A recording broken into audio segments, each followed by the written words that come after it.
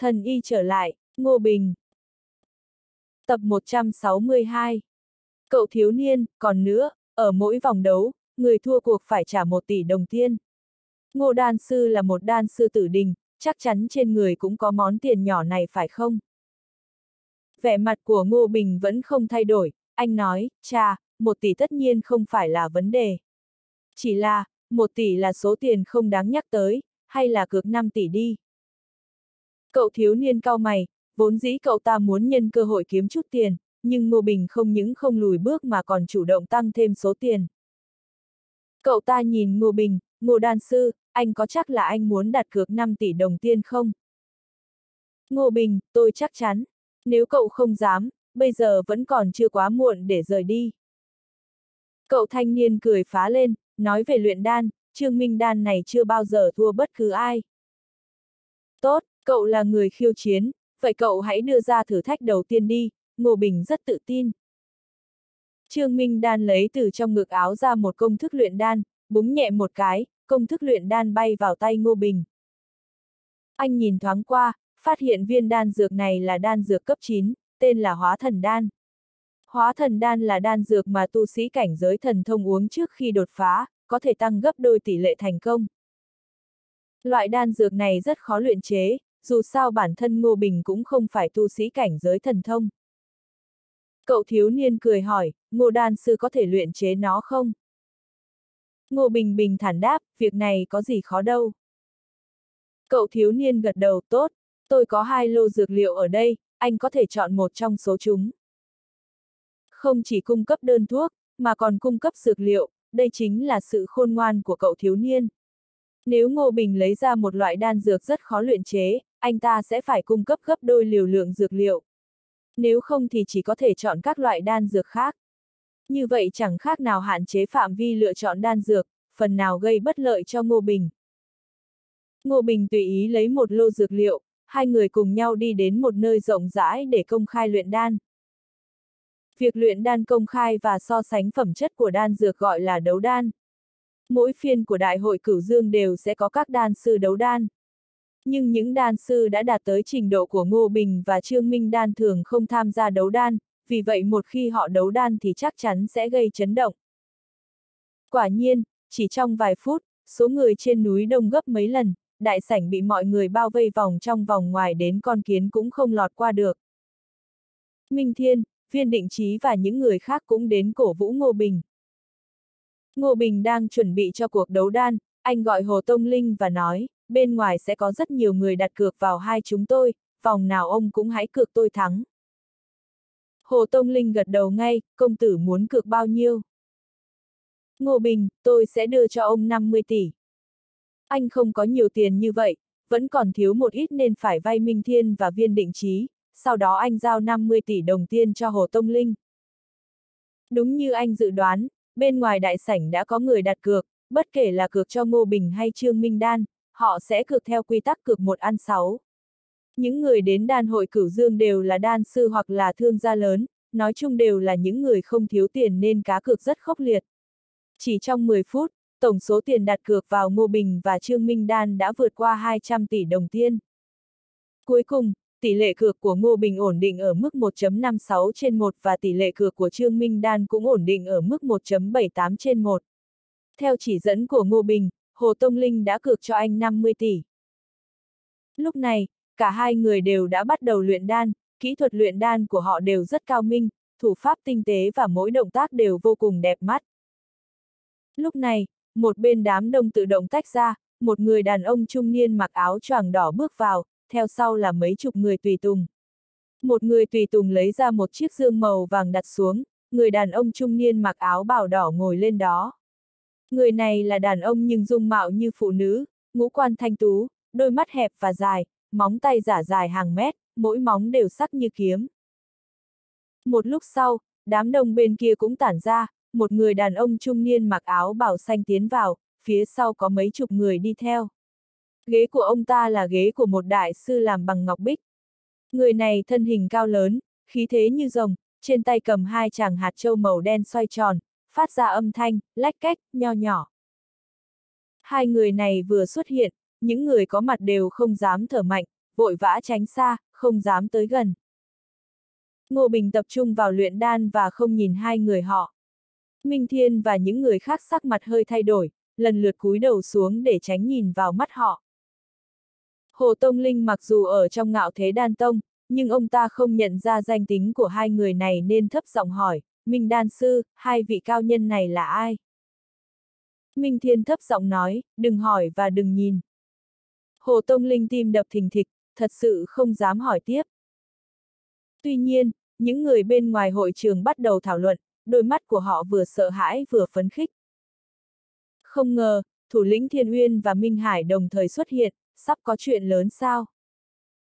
Có mấy tu sĩ trẻ tuổi không biết nhiều vội hỏi, tiền bối, Thiên Uyên là gì vậy? Người kia nói, Thiên Uyên và Minh Hải là hai tổ chức sát thủ mạnh nhất giang hồ, những người mà họ muốn giết không bao giờ sống nổi quá ba ngày. Nghe nói đó là các tổ chức sát thủ, tu sĩ trẻ tái mặt, tại sao thủ lĩnh của tổ chức sát thủ lại xuất hiện ở đan hội cửu dương chứ? Ai biết, nhưng chắc chắn phải có một lý do cho việc này. Người đàn ông lẩm bẩm.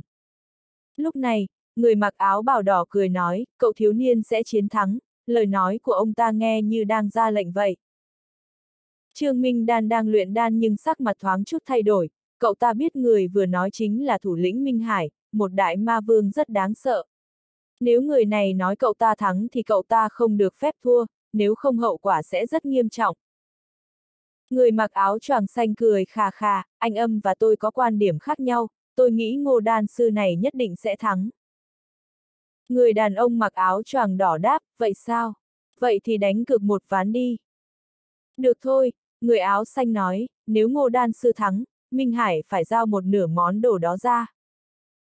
Người đàn ông mặc áo choàng đỏ, nếu cậu thiếu niên thắng, Thiên Uyên cũng sẽ phải trả đem trả nửa còn lại của thứ đó cho Minh Hải. Đương nhiên, mãi cho đến lúc này, Ngô Bình mới chú ý tới hai người này. Trong lòng anh còn nghĩ thầm cực thì cứ cực đi, làm lớn như vậy làm gì? Hai người tiếp tục luyện đan, người đàn ông mặc áo choàng xanh lúc này cười nói, Ngô Đan Sư, xin được tự giới thiệu, tôi là thủ lĩnh của Thiên Uyên, tên là Sở Cuồng Tiên. Hãy tập trung vào việc luyện đan, đừng bận tâm đến việc đang diễn ra bên ngoài. Ngô Bình liếc đối phương một cái, khẽ gật đầu, sau đó tiếp tục luyện chế đan dược. Loại đan dược này không dễ luyện chế, bởi vì nó liên quan đến năng lực thần thông, cho nên cần suy đoán trong quá trình luyện đan.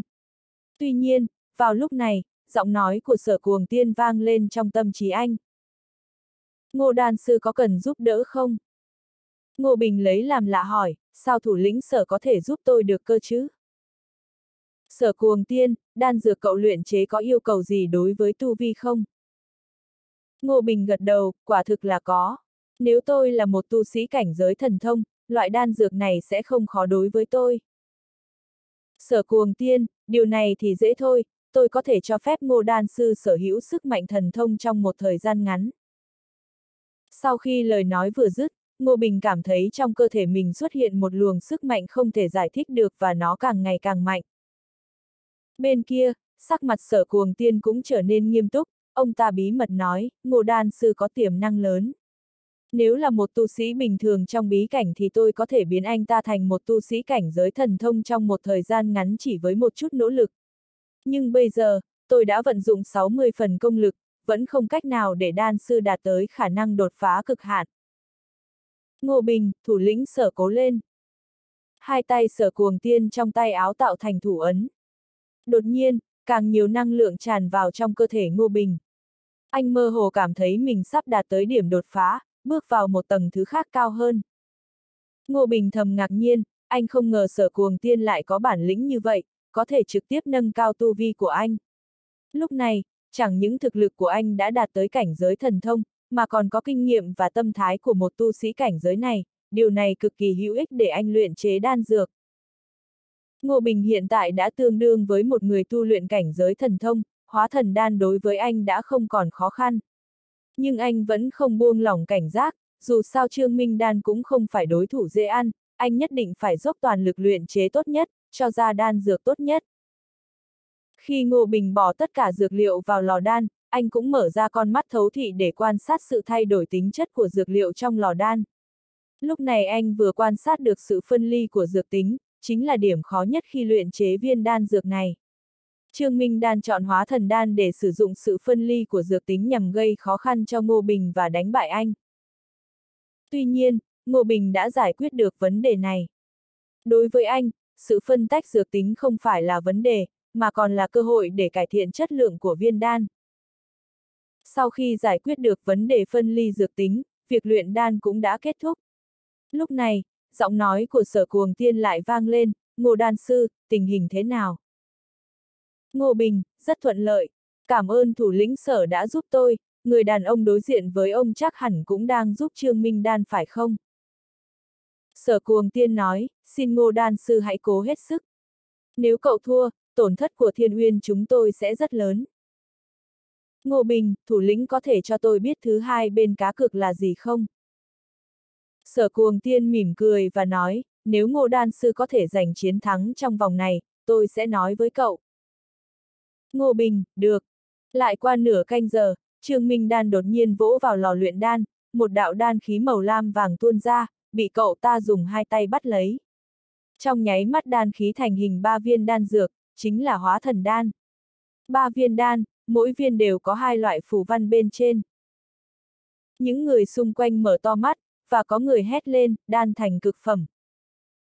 Trương Minh Đan cười nói, ngô đan sư, đan dược này của tôi là cực phẩm, chỉ sợ anh sắp thua vòng này. Tu sĩ áo đỏ của Minh Hải cũng mỉm cười và nói, anh sợ, anh tính toán sai rồi. Sở cuồng tiên vẫn vô cùng bình tĩnh và nói, thắng thua vẫn còn chưa biết, nói xong, ông ta nhìn Ngô Bình. Audio điện tử võ tấn bền. Ngô Bình bình thản nói, thủ lĩnh sở nói rất đúng, đan dược của tôi còn chưa luyện thành, sao có thể nói tôi thua. Nói xong, anh vỗ vào lò luyện đan, đan khí cũng bay ra, tỏa ra ánh sáng ngũ sắc. Ngô Bình nắm lấy đan khí và ngưng tụ nó thành bốn viên đan trong lòng bàn tay. Bốn viên đan dược này, mỗi viên đều có năm phù văn, tỏa ra khí thức thần bí, chất lượng rõ ràng cao hơn đan dược của Trương Minh Đan. Nhìn thấy đan dược của Ngô Bình, sở cuồng tiên cười phá lên, Ngô Đan Sư, đan dược này hẳn là tốt hơn viên đan cực phẩm kia đúng không? Ngô Bình đáp, đúng vậy, bốn viên đan dược này đều là đan tuyệt phẩm. Sở cuồng tiên, hơn nữa số lượng cũng nhiều hơn của cậu ta một viên, phẩm chất cũng cao hơn một bậc, xem ra ngô đan sư của chúng ta đã thắng. Mọi người có phản đối gì không? Người đàn ông mặc áo choàng đỏ đứng dậy, nhìn Ngô Bình thật lâu và nói, tôi sẽ tự giao món đồ kia tới. Nói xong, ông ta cùng đoàn người rời khỏi đó. Khuôn mặt của Trương Minh Đan đầy ngạc nhiên và không thể tin được, cậu ta nói, không thể nào. Trong quá trình luyện đan sẽ có dược tính phân ly. Vậy mà anh không chỉ có thể luyện chế, còn luyện chế ra tuyệt phẩm đan dược, anh đã làm như thế nào? Ngô Bình thờ ơ nói, làm thế nào là việc của tôi, không thể nói với cậu. Anh gian lận, cậu thiếu niên nói bằng giọng gay gắt. Sở cuồng tiên nhẹ nhàng nói, gian lận, cậu không có bằng chứng thì đừng nói nhảm nữa.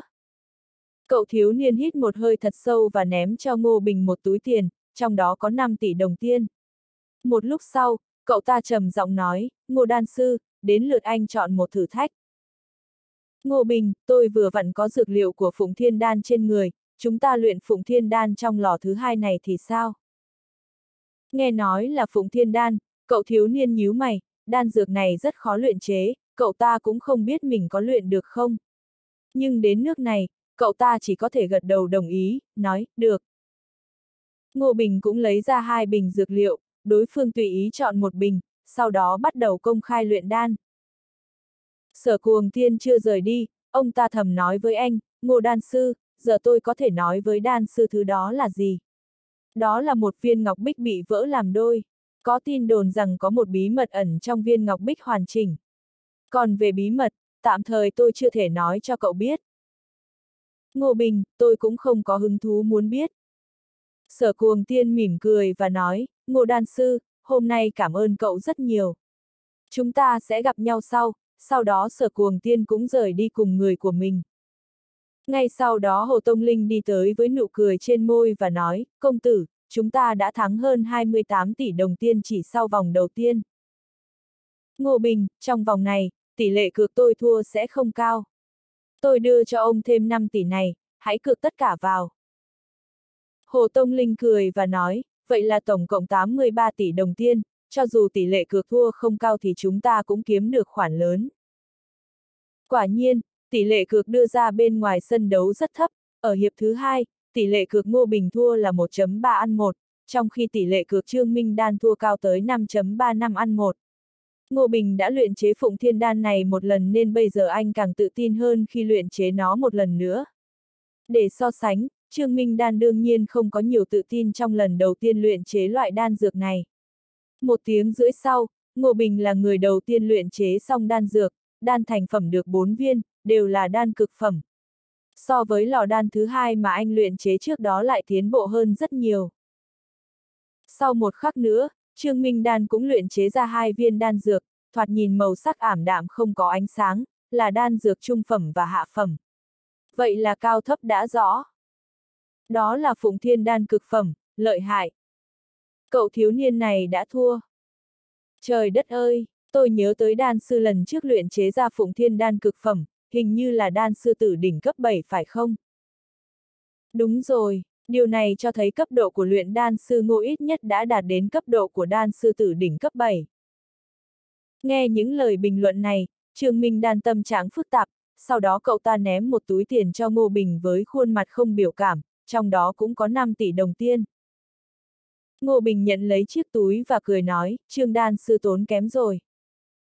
Trương Minh Đan khịt mũi một cái, nói chỉ là 10 tỷ thôi, không đến một năm là có thể kiếm lại được, đâu có gì đáng nói. Nói xong cậu ta quay đầu rời đi. Mọi người vỗ tay, chúc mừng Ngô Bình thắng trận này. Hồ Tông Linh trở lại và nói, công tử, lần này tôi kiếm được hơn 29 tỷ. Ngô Bình nhận lấy một phần số tiền rồi chia cho Minh Thiên và những người khác. Sau khi luyện chế liên tiếp hai lò đan dược, Ngô Bình có chút mệt mỏi nên lên lầu 2 nghỉ ngơi. Tuy nhiên, khi anh lên đến tầng 2, anh nhìn thấy một tu sĩ mặc áo choàng đỏ đang ngồi ở đó, như thể đã đợi anh ta từ lâu. Nhìn thấy người này, Ngô Bội nheo mắt hỏi, ông đang đợi tôi sao? Người đàn ông mặc áo choàng đỏ nhẹ nhàng nói, tôi là thủ lĩnh của Minh Hải, âm cửu trúc. Kỹ năng luyện đan của cậu thật đáng ngưỡng mộ, tôi có một điều muốn hỏi. Ngô Bình đáp, tôi đã giúp Thiên Uyên đánh bại Minh Hải, tôi tưởng thủ lĩnh âm sẽ trả thù tôi. Âm cửu trúc hờ hững đáp, nếu tôi muốn giết cậu, cậu đã chết rồi. Ngô Bình, tôi không biết thủ lĩnh âm có gì cần tôi giúp.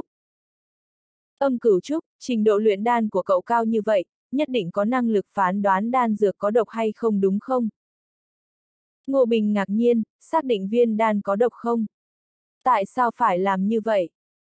Âm cửu trúc, nói một cách đơn giản, tôi có ba viên đan. Trong ba loại tiên đan này, một loại có độc, một loại có thể giúp đột phá đạo cảnh, loại còn lại có thể biến người bình thường thành một loại sinh vật khác. Ngô Bình đáp, tôi tưởng việc phán đoán những loại đan dược như vậy không khó chứ. Âm cửu trúc, ngược lại, ba viên đan dược này ngoại trừ phù văn bên trên không giống nhau thì còn lại giống nhau như đúc. Tôi sắp đột phá, hy vọng có thể uống đúng đan dược trợ giúp tôi đột phá cảnh giới. Ngô Bình, tôi có thể hỏi tại sao lại có ba viên đan như vậy không? Âm cửu trúc, hiện tại tôi còn chưa thể nói chuyện đó cho ngô đan sư. Ngô Bình trầm mặc một lát, hỏi, trên người ông có mang theo đan dược đó không? Âm cửu trúc lập tức lấy ra ba cái lọ nhỏ, đặt cạnh nhau trước mặt Ngô Bình.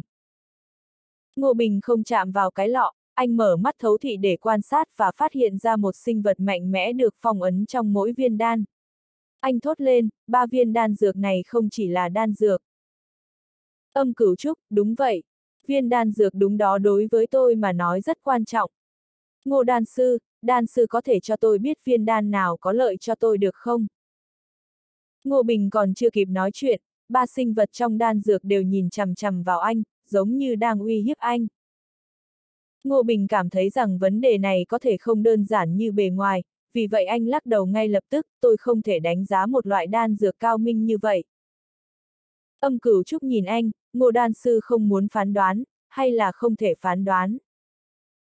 Ngô Bình cười nói, thực ra là cả hai, không có phán đoán nào có thể chính xác 100%, nếu như tôi phán đoán sai lầm, chẳng phải là ảnh hưởng đến tương lai của thủ lĩnh âm sao. Âm cửu trúc cất đan dược đi và nói, nếu ngô đan sư đã từ chối giúp đỡ, tôi xin phép cáo từ. Nói xong, âm cửu trúc biến mất. Âm cửu trúc rời đi không bao lâu, bên ngoài lại có một người khác đi vào, chính là sở cuồng tiên. Ông ta đã đi rồi lại quay lại đó.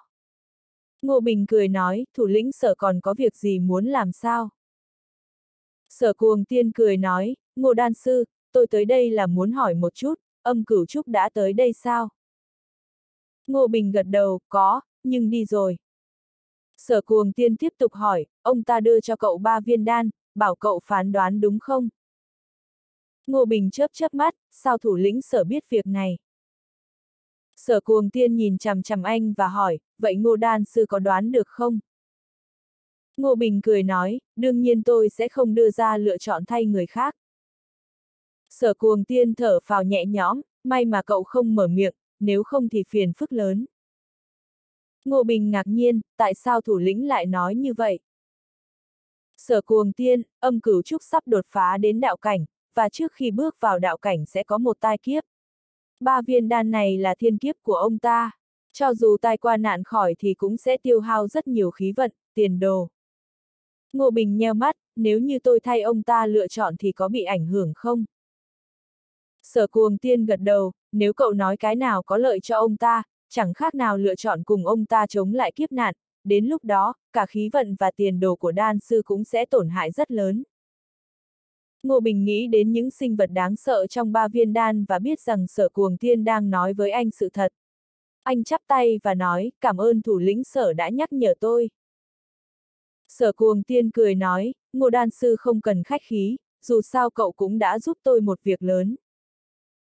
Vừa nói, ông ta vừa lấy ra bảy công thức luyện đan, vừa cười vừa nói, tôi thu thập được bảy công thức luyện đan dược này, ngô đan sư có thể luyện chế giúp tôi thì quá tốt, nhưng nếu không được cũng không sao cả. Ngô Bình cầm lấy công thức luyện đan, liếc mắt nhìn qua thì phát hiện đều là đan dược cấp 10 trở lên, độ khó đương nhiên cực kỳ cao. Anh hỏi, có dược liệu không? Sở cuồng tiên, có. Mỗi một loại đan dược đều đã chuẩn bị dược liệu đủ cho ba lần luyện. Bất luận ngô đan sư luyện chế ra loại đan dược nào, tôi đều nguyện ý lấy giá thị trường cao nhất để mua. Ngô Bình gật đầu, tôi cần thời gian nghiên cứu loại đan dược này, một khi luyện chế thành công, tôi sẽ sớm thông báo cho thủ lĩnh sở. Sở cuồng tiên lấy ra một tấm thẻ đồng đưa cho Ngô Bình, nói, đây là tín vật của tôi, đan sư có thể sử dụng nó để liên lạc với tôi, hoặc có thể đến Thiên Uyên để tìm tôi với tấm thẻ đồng này. Ngô Bình nhận lấy thẻ đồng và nói, được. Sau khi nói thêm vài lời, sở cuồng tiên lại chào tạm biệt. Sau khi đối phương rời đi, Ngô Bình rơi vào trầm tư, tại sao âm cửu trúc kia lại nhờ anh chia sẻ kiếp nạn, chẳng lẽ ông ta đã phát hiện ra cái gì? Sở cuồng tiên rời đi không đến một khắc đồng hồ, Ninh Chức Tuyết đi lên lầu hai nói, anh Ngô, bên ngoài có một người muốn gặp anh. Có rất nhiều người muốn gặp Ngô Bình, nhưng hầu hết đều bị chặn lại, dù sao thì Ngô Bình cũng không có nhiều sức lực như vậy để gặp mọi người. Để Ninh Chức Tuyết đích thân lên lầu hỏi thăm, chứng tỏ người muốn gặp Ngô Bình này không hề đơn giản. Ngô Bình hỏi, đối phương lai lịch thế nào? Ninh Chức Tuyết, đối phương là thương gia buôn bán dược liệu lớn nhất trong vũ trụ chính, một trưởng quầy của dược hoàng các. Ngô Bình đáp, mời lên đi. Một lúc sau, một tu sĩ mặc áo trắng đi tới, có vẻ còn khá trẻ. Anh ta chắp tay cười nói, cảm ơn ngô đan sư chiếu cố, dành thời gian quý báu để gặp tại hạ. Tôi là Lý Thốn Sơn, một trưởng quầy thuốc ở Dược Hoàng Các, Cửu Dương Cảnh.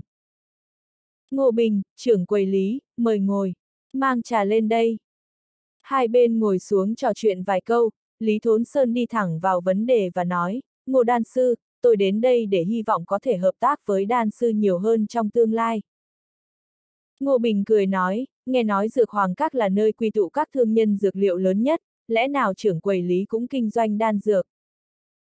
Lý Thốn Sơn cười ha ha, việc kinh doanh của Dược Hoàng Các không chỉ là dược liệu bình thường mà còn có một số linh dược cao cấp. Tôi muốn nói rằng nếu Ngô Đan Sư sẵn sàng hợp tác với Dược Hoàng Các, Dược Hoàng Các có thể mở nhà kho nội bộ của mình cho đan sư, và bán cho đan sư tất cả các dược liệu bên trong với giá gốc. Ngô Bình, dược liệu bên trong nhà kho khác với dược liệu bên ngoài bán sao? Lý Thốn Sơn, đương nhiên là khác, một số dược liệu thượng phẩm sẽ không được bán ra thị trường, cho dù có bao nhiêu tiền cũng khó mua được. Nhà kho bên trong thì khác, bình thường đều chứa những dược liệu hiếm có không mua được trên thị trường như vậy. Nhà kho này chỉ mở cho người của chúng tôi hoặc những người đặc biệt quan trọng. Ngô Bình suy nghĩ một chút rồi hỏi, có thể cho tôi xem nội kho có những dược liệu gì không? Lý Thốn Sơn, tất nhiên, mời đan sư xem. Lý Thốn Sơn lấy ra một cuốn mục lục, khi mở ra, một tia sáng bay ra, biến thành những dãy tủ thuốc thu nhỏ trong không trung, mỗi tủ thuốc chứa trăm vạn dược liệu. Ngô đan sư cần dược liệu gì, có thể tìm trong đó, vừa nói Lý Thốn Sơn vừa vung tay, tủ thuốc trước mặt lướt đi, tủ thuốc kế tiếp tiến lên phía trước mặt họ. Ngô Bình đã sớm nhìn ra mấy loại dược liệu mà anh ao ước lâu nay nhưng không thể tìm được nên không khỏi động lòng. Anh vẫn giữ vẻ mặt tươi cười hỏi, sau khi hợp tác, mỗi năm tôi sẽ phải luyện chế bao nhiêu đan dược cho dược hoàng các. Lý Thốn Sơn cười nói, đối với đan sư hàng đầu như ngô đan sư mà nói, chúng tôi cũng không dám có yêu cầu quá cao, mỗi tháng chỉ cần luyện chế một lô đan dược trong danh sách là được. Ngô Bình, ngoại trừ mua dược liệu từ nội kho của các vị, tôi còn được lợi ích gì không? Lý Tắc Sơn, đương nhiên, chúng tôi sẽ trả cho đan sư giá gấp 3 đến 10 lần giá trị dược liệu mà ngô đan sư dùng để luyện chế các loại đan dược. Ngô Bình suy nghĩ một lúc và nói, điều kiện không tệ. Tôi đồng ý hợp tác với các vị. Lý Thốn Sơn cười nói, thật tuyệt, cuốn mục lục này xin tặng cho đan sư. Chúng tôi sẽ cử người đưa bất kỳ loại thuốc nào mà đan sư cần tới. Ngô Bình, được. Sau khi Lý Thốn Sơn rời đi, anh mở lại cuốn mục lục dược liệu, và rất nhanh đã tìm được những dược liệu trọng yếu cần thiết để luyện chế bước thứ hai của trí tôn thần Pháp. Khi tìm thấy dược liệu, anh lập tức viết ra tên dược liệu rồi gửi đi. Anh nghỉ ngơi một hồi, đến buổi chiều, dược liệu anh yêu cầu đã có người đặc biệt đưa tới. Những dược liệu này chỉ cần phải trả giá gốc, anh hiện tại không thiếu tiền nên vui vẻ móc túi lấy đồng tiền trả cho họ. Sau khi lấy được dược liệu rồi, Ngô Bình lại luyện chế thêm hai lò đan dược để trong phòng triển lãm chờ nhận xét. Loáng cái một ngày đã trôi qua, trên núi đã yên tĩnh trở lại. Do độc chiếm một đỉnh núi nên nhóm Minh Thiên quyết định sẽ không về nữa, tối nay họ sẽ ở lại trên núi rồi ngày mai tiếp tục triển lãm đan dược luôn. Tối đó, Ngô Bình đã luyện chế đan dược linh vi đan của bước thứ hai của trí tôn thần Pháp. Thành quả là đan dược cấp cực phẩm, sau đó anh đã uống luôn một viên rồi nhắm mắt tu luyện. Bước thứ nhất của trí tôn thần Pháp là tráng thần, bước thứ hai là điều thần. Thật ra bước này là điều chỉnh tần số của bí anh, khiến nó hoàn toàn thích ứng với môi trường vũ trụ, từ đó đạt đến hiệu quả tu luyện tốt nhất. Khi điều thần thì tu sĩ cần có linh vi đan hỗ trợ, không thì khó mà đạt được hiệu quả tối đa. Uống linh vi đan xong, Ngô Bình bắt đầu điều thần. Có đan dược hỗ trợ nên anh chỉ mất hơn một tiếng là đã điều chỉnh bí anh lên trạng thái cao nhất. Lúc này, anh cảm thấy mình đã trở thành một phần của vũ trụ, thần niệm có thể phóng xa cả triệu cây em, thậm chí còn xa hơn nữa vượt khỏi phạm vi của cửu dương cảnh, nhưng vẫn nằm trong vũ trụ chính. Trạng thái này khiến Ngô Bình thấy rất dễ chịu, bí anh của anh nhanh chóng trưởng thành. Cho tới khi trời sáng, anh mới thoát khỏi trạng thái này. Hôm nay là ngày thứ ba của đan hội cửu dương, theo lệ thì hôm nay sẽ có kết quả top 50 đan dược đứng đầu bảng đan dược. Chắc chắn Phụng Thiên Đan của Ngô Bình sẽ đứng đầu bảng. Cổng vừa mở, đã có rất nhiều người ùa vào. Những người tham gia triển lãm đều cầm 10 phù chú, khi bình chọn đan dược, họ sẽ dán phù chú của mình lên đan dược mà họ đánh giá cao. Buổi sáng vẫn rất náo nhiệt, Ngô Bình lại nhận được thêm khá nhiều đơn đặt hàng. Đơn này không chỉ cho một mình anh, mà là cho cả ngạo thế đan đường. Đương nhiên vì là thầy luyện đan có tầm ảnh hưởng nhất nên anh có tư cách nhận lợi nhuận cao nhất. Đến chữa, đột nhiên có tiếng chuông vang lên, sau đó một bia ngọc ghi tên 50 loại đan dược đã xuất hiện trên không trung. Trong đó có mấy loại đan dược do Ngô Bình luyện chế, gồm Phụng Thiên Đan, Tiểu Vô Tương Đan, Kim Long Đan, Hoan Ngộ Đan, Thái Hư Linh Đan, Tuyệt Tâm Đan. Sau đó có người bước ra tuyên bố, sau màn mở đầu thì bắt đầu chính thức bầu chọn đan dược. Vì thế, mọi người đều ném phù chú của mình về phía bia ngọc. Có thể thấy hầu hết phù chú đều được ném về phía Phụng Thiên Đan và Tiểu Vô Tương Đan của Ngô Bình. Không gian như có một màn mưa ánh sáng, khi mọi người ném hết phù chú đi, một tấm bia ngọc khác xuất hiện cùng một dãy số. Trong đó con số của Phụng Thiên Đan là 267.513. Đứng thứ hai cũng là tiểu vô tương đan của Ngô Bình với 21.107, một nửa đan dược đứng trong top 10 đều là của Ngô Bình. Kết quả vừa có, người của ngạo thế đan tông đã gieo lên. Từ ngày có đan hội cửu dương đến nay, chưa bao giờ ngạo thế đan tông có giây phút huy hoàng thế này, đan dược của họ đã chiếm một nửa trong top 10. Minh Thiên cười nói, chúc mừng ngô sư đệ, từ giờ trở đi, cậu chính là thầy luyện đan nổi tiếng thật rồi. Danh tiếng của cậu sẽ giúp bất cứ nơi nào bán đan dược của cậu cũng được được thơm lây. Viên định trí nói, xem ra mắt nhìn người của chúng ta chuẩn thật, có thể thấy được tiền đồ rộng mở của sư đệ. Minh Thiên, các sư huynh, nếu muốn để ngô sư đệ tiếp tục ở lại ngạo thế đan đường thì chắc chúng ta cần chia lại tỷ lệ ăn chia. Mấy người sáng lập đều đồng ý, đương nhiên, ít sư đệ cũng phải được chia 50%, đây cũng theo giá cả ngoài thị trường rồi. Minh Thiên, sư đệ thấy sao? Ngô Bình biết mình được chia 50% chưa phải là nhiều, nhờ danh tiếng của anh mà mức tiêu thụ của đan đường khéo sẽ tăng lên gấp nhiều lần.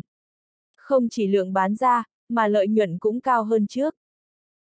Ngô Bình nói, các sư huynh, sư tỷ, em lấy 30% thôi là được rồi. Minh Thiên, nếu sư đệ chỉ lấy 30% thì đan dược do cậu luyện chế ra, các anh chị sẽ không thu bất kỳ chi phí gì nữa. Viên định trí, ý này được đấy. Minh Thiên, sư đệ giờ đã nổi tiếng, nếu chị đoán không nhầm thì ngạo thế đan tông sắp tăng cấp bậc cho cậu rồi đấy. Ngô Bình, vậy là sau khi về môn phái, em có thể tham gia xét duyệt thầy luyện đan nhị đỉnh ạ. À?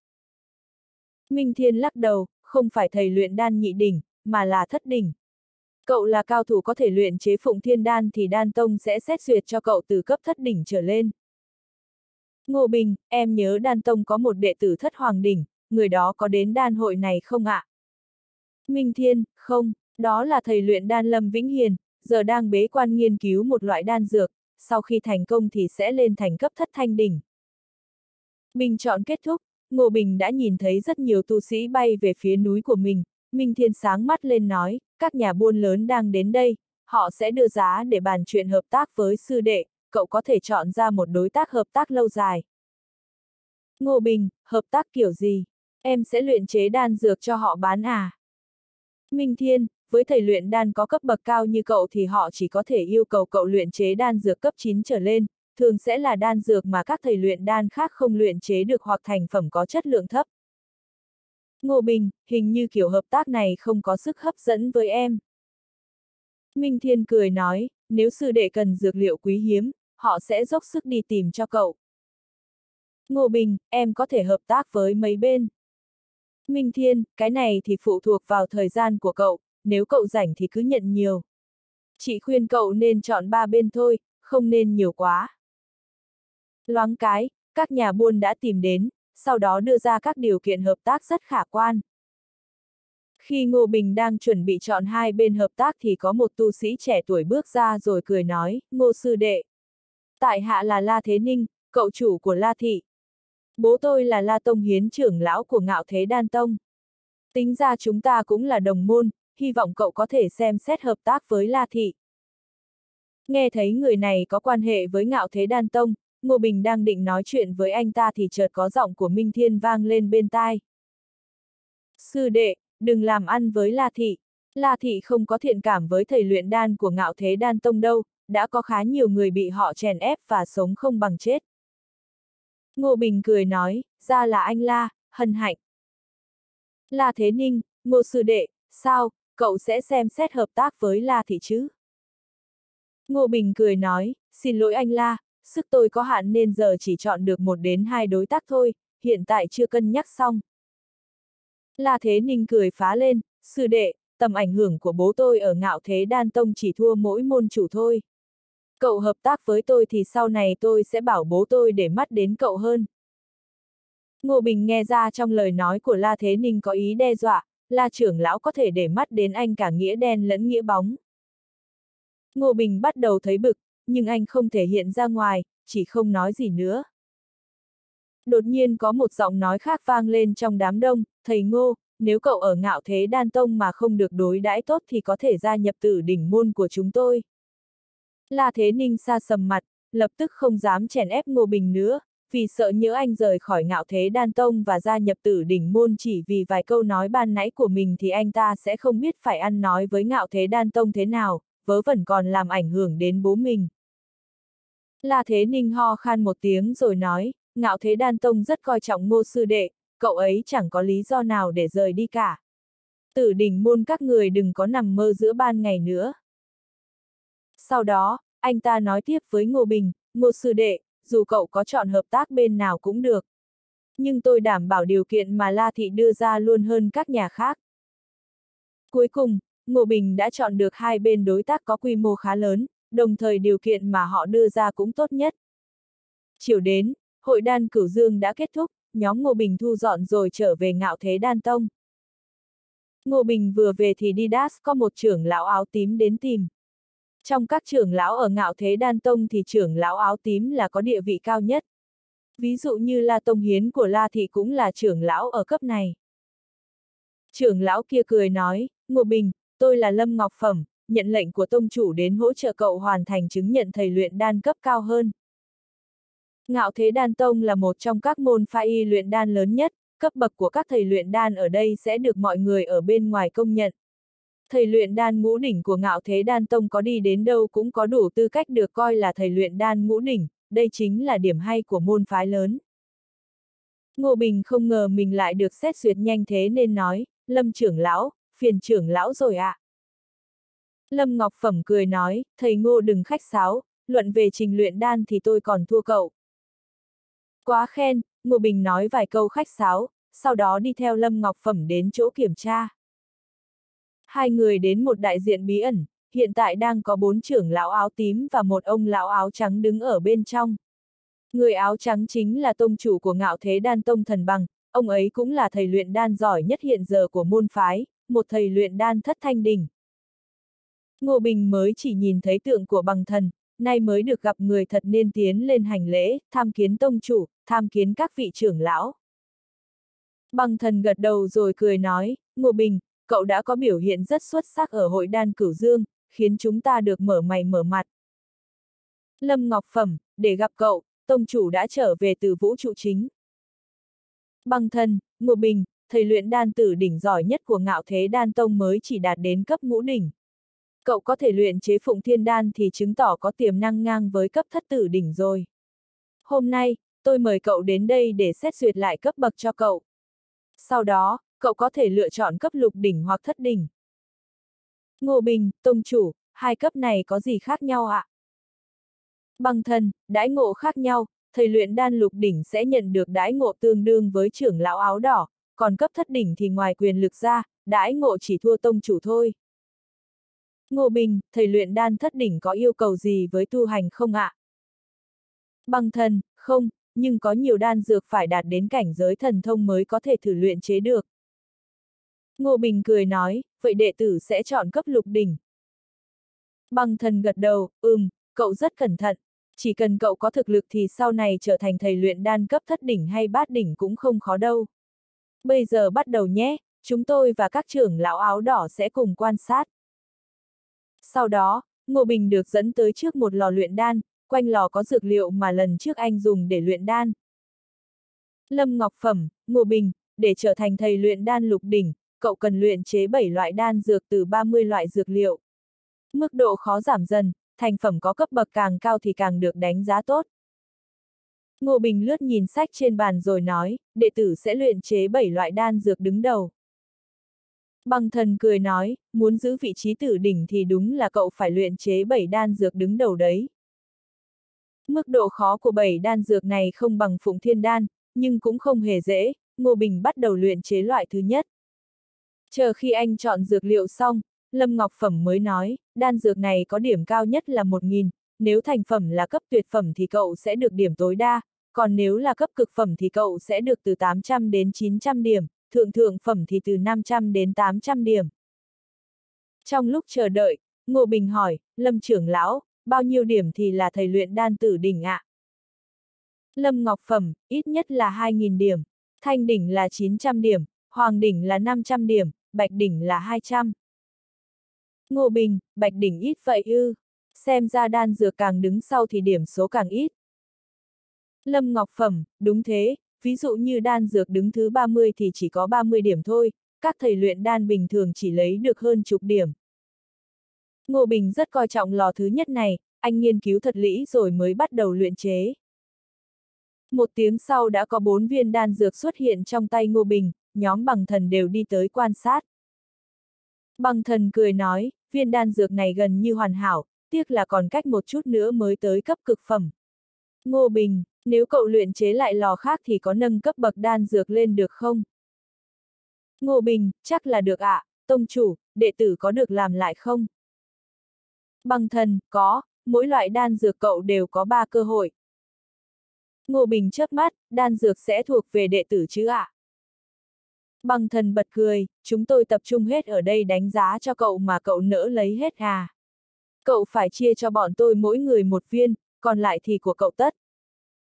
Ngô Bình thầm nghĩ, thế là anh mất toi một nửa rồi. Nhưng có còn hơn không nên anh lập tức luyện lại lò thứ nhất. Lần này, anh đã có kinh nghiệm hơn nên đã cho ra 5 viên đan dược cực phẩm. Lò tiếp theo, anh còn tiến bộ hơn nữa, thành phẩm là 5 viên đan dược tuyệt phẩm. Các trưởng lão đều tươi như hoa, vì lát họ đều sẽ được chia một viên. Trong đó tông chủ bằng thần sẽ nhận được một viên tuyệt phẩm, năm trưởng lão còn lại thì mỗi người được một viên cực phẩm. Ngô Bình nghỉ ngơi một lát rồi bắt tay vào luyện chế đan dược thứ hai, vì có đến ba cơ hội cho mỗi loại nên kết quả cuối cùng anh đều luyện chế ra DNA dược tuyệt phẩm. Trong đó, loại đan dược thứ nhất anh được 1.000 điểm, thứ hai thì được 800 điểm, loại 3 được 700 điểm, loại 4 được 600 điểm, loại 5 được 500 điểm, loại thứ 6 được 450 điểm, loại cuối cùng 400 điểm. Cuối cùng, Ngô Bình được tổng là 4.450 điểm, vượt xa số điểm cần để trở thành thầy luyện đan tử đỉnh. Khi Ngô Bình luyện chế xong đan dược thứ bảy, bằng thần và các trưởng lão khác trao đổi ánh mắt với nhau rồi nói, xem ra ngạo thế đan tông chúng ta có một thầy luyện đan kim đỉnh rồi. Nghe thấy thế, Ngô Bình cười nói, tông chủ, còn có cả cấp kim đỉnh ạ. À. Bằng thần gật đầu, kim đỉnh là cấp dùng trong các môn phái luyện đan lớn, chỉ các thầy luyện đan luyện chế được cả bảy đan dược cấp tuyệt phẩm thì mới được nhận giang xương này. Xong, tử đỉnh đã khó lắm rồi nên kim đỉnh cực kỳ hiếm, từ xưa đến nay chỉ có vài thầy luyện đan ở cấp này thôi. Ngô Bình, vậy bây giờ đệ tử là thầy luyện đan kim đỉnh ạ. À? Bằng thân, danh xương này gây tiếng vang quá, môn phái tạm thời cho cậu đãi ngộ gấp đối trưởng lão áo đỏ đã, nhưng với bên ngoài thì cậu vẫn là thầy luyện đan tử đỉnh. Ngô Bình không có ý kiến gì, thầy luyện đan lục đỉnh đã quá đủ với anh rồi, đó còn chưa kể anh nhận được gấp đôi đãi ngộ. Sau đó, bằng thần đã đích thân trao thân phận mới cho Ngô Bình. Trên áo của anh đã có thêm 6 cái đỉnh nhỏ màu tím, lệnh bài thân phận cũng khác. Đương nhiên, anh còn được đổi chỗ ở khác. Với thân phận mới này, anh sẽ có một đỉnh núi riêng cho mình.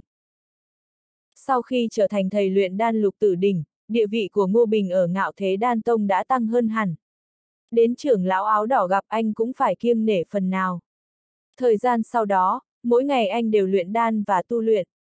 Loáng cái, một tháng đã trôi qua, anh đã luyện chế hết đơn hàng mà mình cần luyện. Ngoài ra, anh còn luyện chế được thêm 5 loại đan dược cần dùng cho giai đoạn sau của trí tôn thần Pháp. Trong một tháng qua, anh đã gặp hai bên đối tác cùng Nam Cung lệnh nghi và luyện chế gian dược cho họ. Thầy luyện đan lục tử đỉnh kiếm tiền quá dễ, chỉ cần luyện chế vài lò đan dược là đã kiếm được cả chục đến trăm triệu rồi. Trong thời gian này, Ngô Bình cũng đã hoàn thành xong năm bước đầu của trí tôn thần Pháp, chỉ còn hai bước nữa. Nhưng anh đã luyện chế xong đan dược cần dùng cho hai bước này, để mai này tu luyện. Sau năm bước đầu, anh đã có thu hoạch rất lớn, bí anh của anh đã dài 8 thước 9 tấc. Tuy vẫn chưa phải bí thần, nhưng tiềm lực của nó đã rất mạnh rồi. Trong cả chục nghìn tu sĩ cảnh giới bí anh toàn thiên hạ, chỉ có một tu sĩ cảnh giới bí thần và được gọi là thượng quân. Trong các tu sĩ bí thần, bí anh của anh dài dưới một thước thì được gọi là tiểu bí thần, dài từ một thước đến dưới ba thước thì là đại bí thần, trên ba thước đến dưới chín thước thì là thượng bí thần, trên chín thước thì là bí thần truyền kỳ, trên 10 thước là bí thần trí tôn hoàng kim. Điều này có nghĩa là, dù bây giờ không tiếp tục tu luyện thì anh cũng có trình độ của thượng bí thần rồi. Trong các tu sĩ cảnh giới bí thần thì cả vạn người mới có một thượng bí thần nên rất hiếm.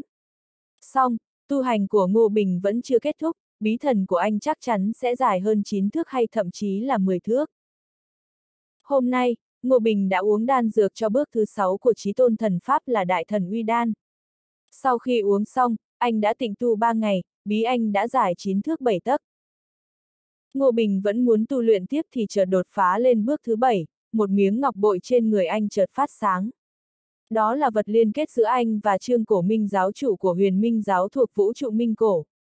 Bao lâu nay, ông ấy chẳng hề liên lạc với anh mà giờ lại truyền tin đến, không lẽ xảy ra chuyện gì rồi? Vì miếng ngọc bội chỉ có thể truyền một lượng tin tức đơn giản nên rất khó hỏi rõ ràng, vì thế Ngô Bình quyết định sẽ quay về vũ trụ Minh Cổ một chuyến. Nghĩ đến đây, anh đã gọi Ninh Chức Tuyết và Hồ Tông Linh đến, tôi sẽ rời khỏi đây một thời gian, nếu có ai hỏi thì cứ bảo tôi ra ngoài tìm dược liệu. Ninh Chức Tuyết, công tử định khi nào về ạ? À? Ngô Bình, không lâu lắm đâu. Anh dặn dò họ vài câu rồi đến trận pháp trung chuyển giữa các đạo cảnh ở đại ngũ hành giới.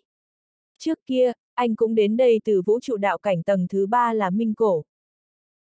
Sau khi anh đến chỗ trận pháp vận chuyển thì người phụ trách luôn rất khó chịu với mọi người và luôn thu phí cao. Song khi nhìn thấy huy hiệu tử đỉnh trên áo của Ngô Bình, người này đã gật đầu rồi cười hỏi, anh định đi đâu? Ngô Bình, vũ trụ minh cổ, có trận pháp vận chuyển đến đó không? Người kia gãi đầu rồi hỏi, anh muốn đến vũ trụ cấp thấp ư? Ở đó không có gì hay đâu. Ngô Bình, anh chỉ cần trả lời câu hỏi của tôi thôi. Người kia có đấy, nhưng cho tôi hỏi tu vi của anh đã. Ngô Bình, sao thế? Có yêu cầu với tu vi à? Người kia, không, nhưng tốt nhất tu vi của anh phải dưới cảnh giới thần thông, không thì đến đó rồi dễ bị quy luật ở Minh Cổ áp chế lắm. Ngô Bình thầm nghĩ mình là bạn của Tiểu Minh thì sao bị áp chế được. Anh nói, không sao, cho tôi đi, nói rồi, anh ném 100 tiền tiên cho người kia. Người đó mừng rỡ, vì cả tháng lương cũng không được nhiều thế này nên nói ngay, vâng, tôi sẽ mở con đường ổn định nhất cho cậu. Đồng tiền đi trước là đồng tiền khôn, Ngô Bình đi vào trong trận pháp xong thì có một tia sáng lóe lên, ngay sau đó anh đã quay lại vũ trụ minh cổ. Cảm giác lúc đến và đi của anh hoàn toàn khác nhau, khi anh xuất hiện ở vũ trụ minh cổ thì thấy toàn thân mình nhẹ bẫng như mất đi trọng lực, sức mạnh trong cơ thể anh cũng bất ổn. Mãi một lúc lâu sau, anh mới quen với môi trường mới ở đây. Anh quan sát xung quanh một lát thì thấy mình đang ở trong một đại điện vận chuyển, anh đi ra ngoài thì thấy có rất nhiều người ở đây, vừa nhìn thấy anh thì họ đều quỳ xuống rồi nói tham kiến thượng thiên. Những người đi từ đây ra thường đều là tu sĩ đến từ các vũ trụ cao cấp hơn, ví dụ như vũ trụ đạo cảnh tầng thứ 5 hay 7. Người đến từ vũ trụ lớn đều có thực lực mạnh hơn hẳn tu sĩ ở đây, vì thế đã có rất nhiều người chạy đến nghênh đón với hy vọng mình sẽ được thưởng gì đó, trong số này cũng không thiếu các cô gái xinh đẹp hy vọng tu sĩ của vũ trụ lớn sẽ để mặt đến mình. Anh không quen với cảnh này nên hỏi, đây là nơi nào? Huyền Minh giáo cách đây có xa không? Lập tức có người trả lời, Thượng Tiên, nơi này nằm trong phạm vi thế lực của huyền Minh giáo, chỉ cách môn phái có hơn 90.000 dặm thôi ạ. À. Ngô Bình vẫn giữ khá nhiều tiền tinh ở đây nên đã ném cho họ 10.000 tiền tinh, sau đó tiến nhanh về phía huyền minh giáo. Anh vừa đến nơi thì trong đầu đã vang lên giọng nói của Tiểu Minh. Không ngờ tu vi của anh lại tăng nhanh thế, thực lực hiện giờ đã không kém gì tu sĩ cảnh giới thần thông ở vũ trụ chính rồi. Ngô Bình vui vẻ nói, Tiểu Minh, dạo này cậu thế nào? Thời gian qua có sinh linh nào của vũ trụ chính đến đây không? Tiểu Minh, mới một tháng thì xảy ra chuyện gì được? Ngô Bình, tôi đi lâu thế rồi mà ở đây mới qua một tháng thôi à? Tiểu Minh, hai vũ trụ khác nhau thì đương nhiên thời gian cũng khác, sao tự nhiên anh lại về? Ngô Bình, Trương Cổ Nguyệt gọi tôi nên tôi về xem sao, tiện thể chuẩn bị đưa người nhà đến đây sống, khi ấy nhờ cậu chăm sóc họ nhé. Tiểu Minh, được, nhưng anh cũng phải giúp tôi chút việc. Ngô Bình, chuyện gì thế? Tiểu Minh, anh cũng biết đấy, sau khi các vũ trụ phụ như chúng ta có ý thức thì sẽ nghĩ cách để mình mạnh lên, mà cách tốt nhất chính là chiếm được các vũ trụ đạo cảnh khác. Ngô Bình nổi hứng, cậu muốn chiếm vũ trụ nào? Tiểu Minh, một vũ trụ đạo cảnh tầng thứ bảy khiếm khuyết, nhưng muốn chiếm được nó thì tôi cần một người đến đó tìm nội hạch của nơi ấy. Ngô Bình từng lấy được nội hạch của vũ trụ nên hỏi, nội hạch này có gì đặc biệt? Tiểu Minh, có được nội hạch rồi thì sẽ luyện hóa, từ đó tôi sẽ dễ dàng chiếm được vũ trụ ấy. Ngô Bình, việc này đến cậu còn không làm được thì chứng tỏ rất nguy hiểm, sao tôi thấy như kiểu cậu đang bẫy tôi ấy. Tiểu Minh, tôi bẫy anh làm gì? Đây là thế giới linh đài mà cường giả đạo cảnh tầng thứ ta để lại, ở đó chắc chắn có rất nhiều bảo bối. Quan trọng nhất là anh có thể tìm thấy linh bảo ở đó. Linh bảo là thứ mở ra thời kỳ đầu của thế giới linh đài, cũng là pháp bảo bản mệnh của cường giả kia đấy. Ngô Bình, giờ tôi chỉ là một tu sĩ bí cảnh thôi mà cậu xui tôi đi lấy bảo bối của cường giả đạo cảnh ư. Tiểu Minh, thế thì anh không hiểu rồi, chính vì cảnh giới của anh không cao nên mới thích hợp đến đó. Nếu anh là tu sĩ thần thông rồi thì lại không phù hợp. Ngô Bình, tại sao?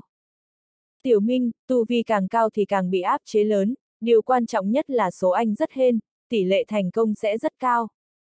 Ngô Bình, đừng có mà lòe tôi, so với tài năng của cường giả đạo cảnh thì vận may chẳng là cái quái gì cả. Tiểu Minh, anh tự quyết định đi, dẫu sao không phải ai cũng có thể có được linh bảo đâu, bên trong nó có chứa truyền thừa nòng cốt nhất của cường giả đạo cảnh tầng thứ tư đấy. Ngô Bình, để tôi nghĩ đã rồi sẽ thông báo cho cậu sau. Anh không để ý đến Tiểu Minh nữa mà đi tìm Trương Cổ Nguyệt. Khi anh gặp Trương Cổ Nguyệt thì ông ấy đang bị thương nặng và đang được trị thương trong một mật thất.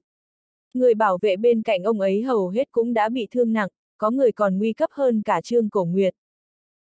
Nhìn thấy Ngô Bình, Trương Cổ Nguyệt nợ một nụ cười còn xấu hơn miếu rồi nói, Huyền Bình, cuối cùng cậu cũng về rồi. Cựu Quang Thái cũng đang ở đây, ông ấy cũng đã bị thương, Huyền Bình, con tu luyện ở vũ trụ cao cấp thế nào rồi? Hai, thật sự không còn cách nào khác nữa nên mới phải gọi con về.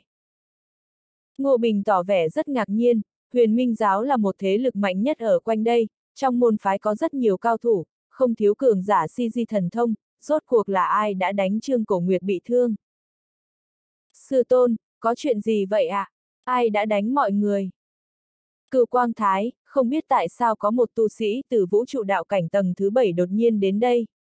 Thấy đó là tu sĩ ở vũ trụ cao cấp, địa vị tôn quý nên chúng ta nào dám sơ suất, cả môn phái từ trên xuống dưới đều hầu hạ người đó như phận con cháu.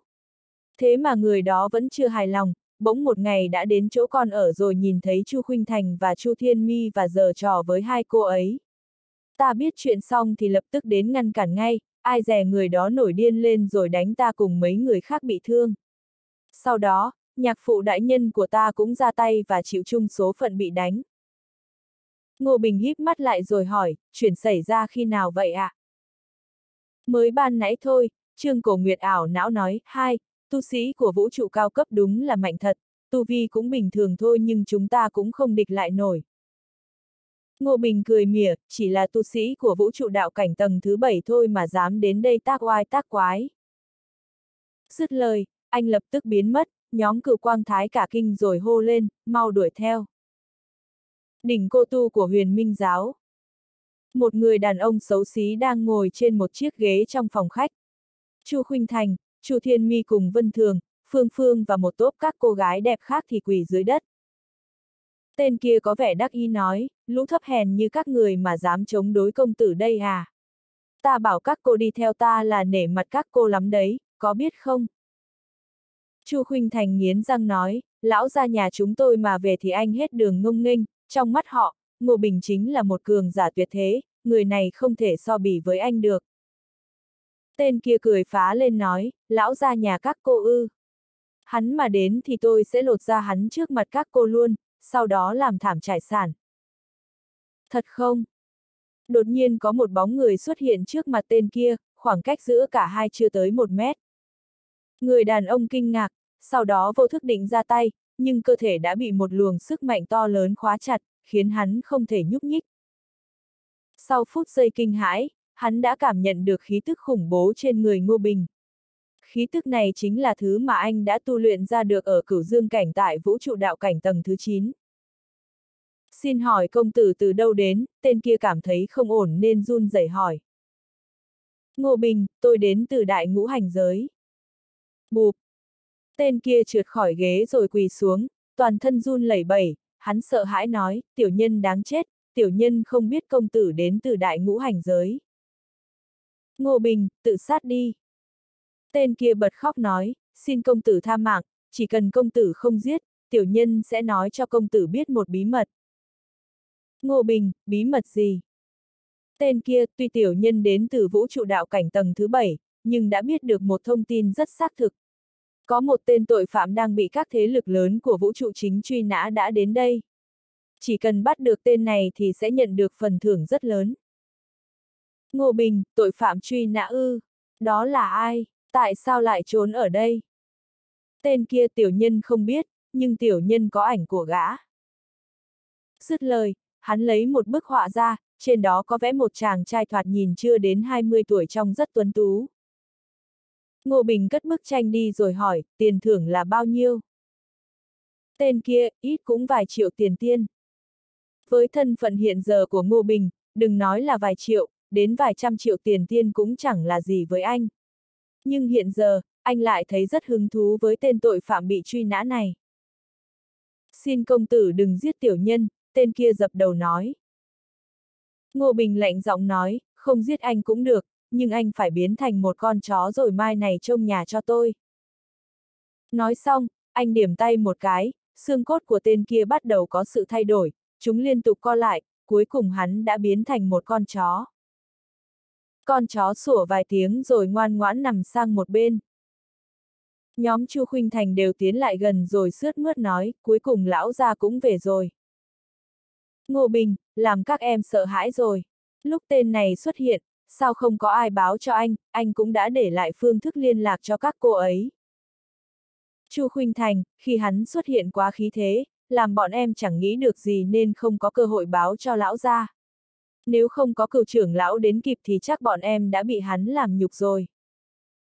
Nói rồi, mấy cô gái đều tiến lên đá cho con chó mấy cái, làm nó đau đến mức kêu ăn ẳng. Lúc này, cựu Quang Thái và Trương Cổ Nguyệt cũng đã tới, không thấy tên cường giả đến từ vũ trụ đạo cảnh tầng thứ bảy đâu, cựu Quang Thái ngạc nhiên hỏi, tên kia đâu rồi? Chu Khung Thành chỉ vào con chó đen xấu xí rồi nói, cựu trưởng lão, lão gia đã biến hắn thành chó rồi.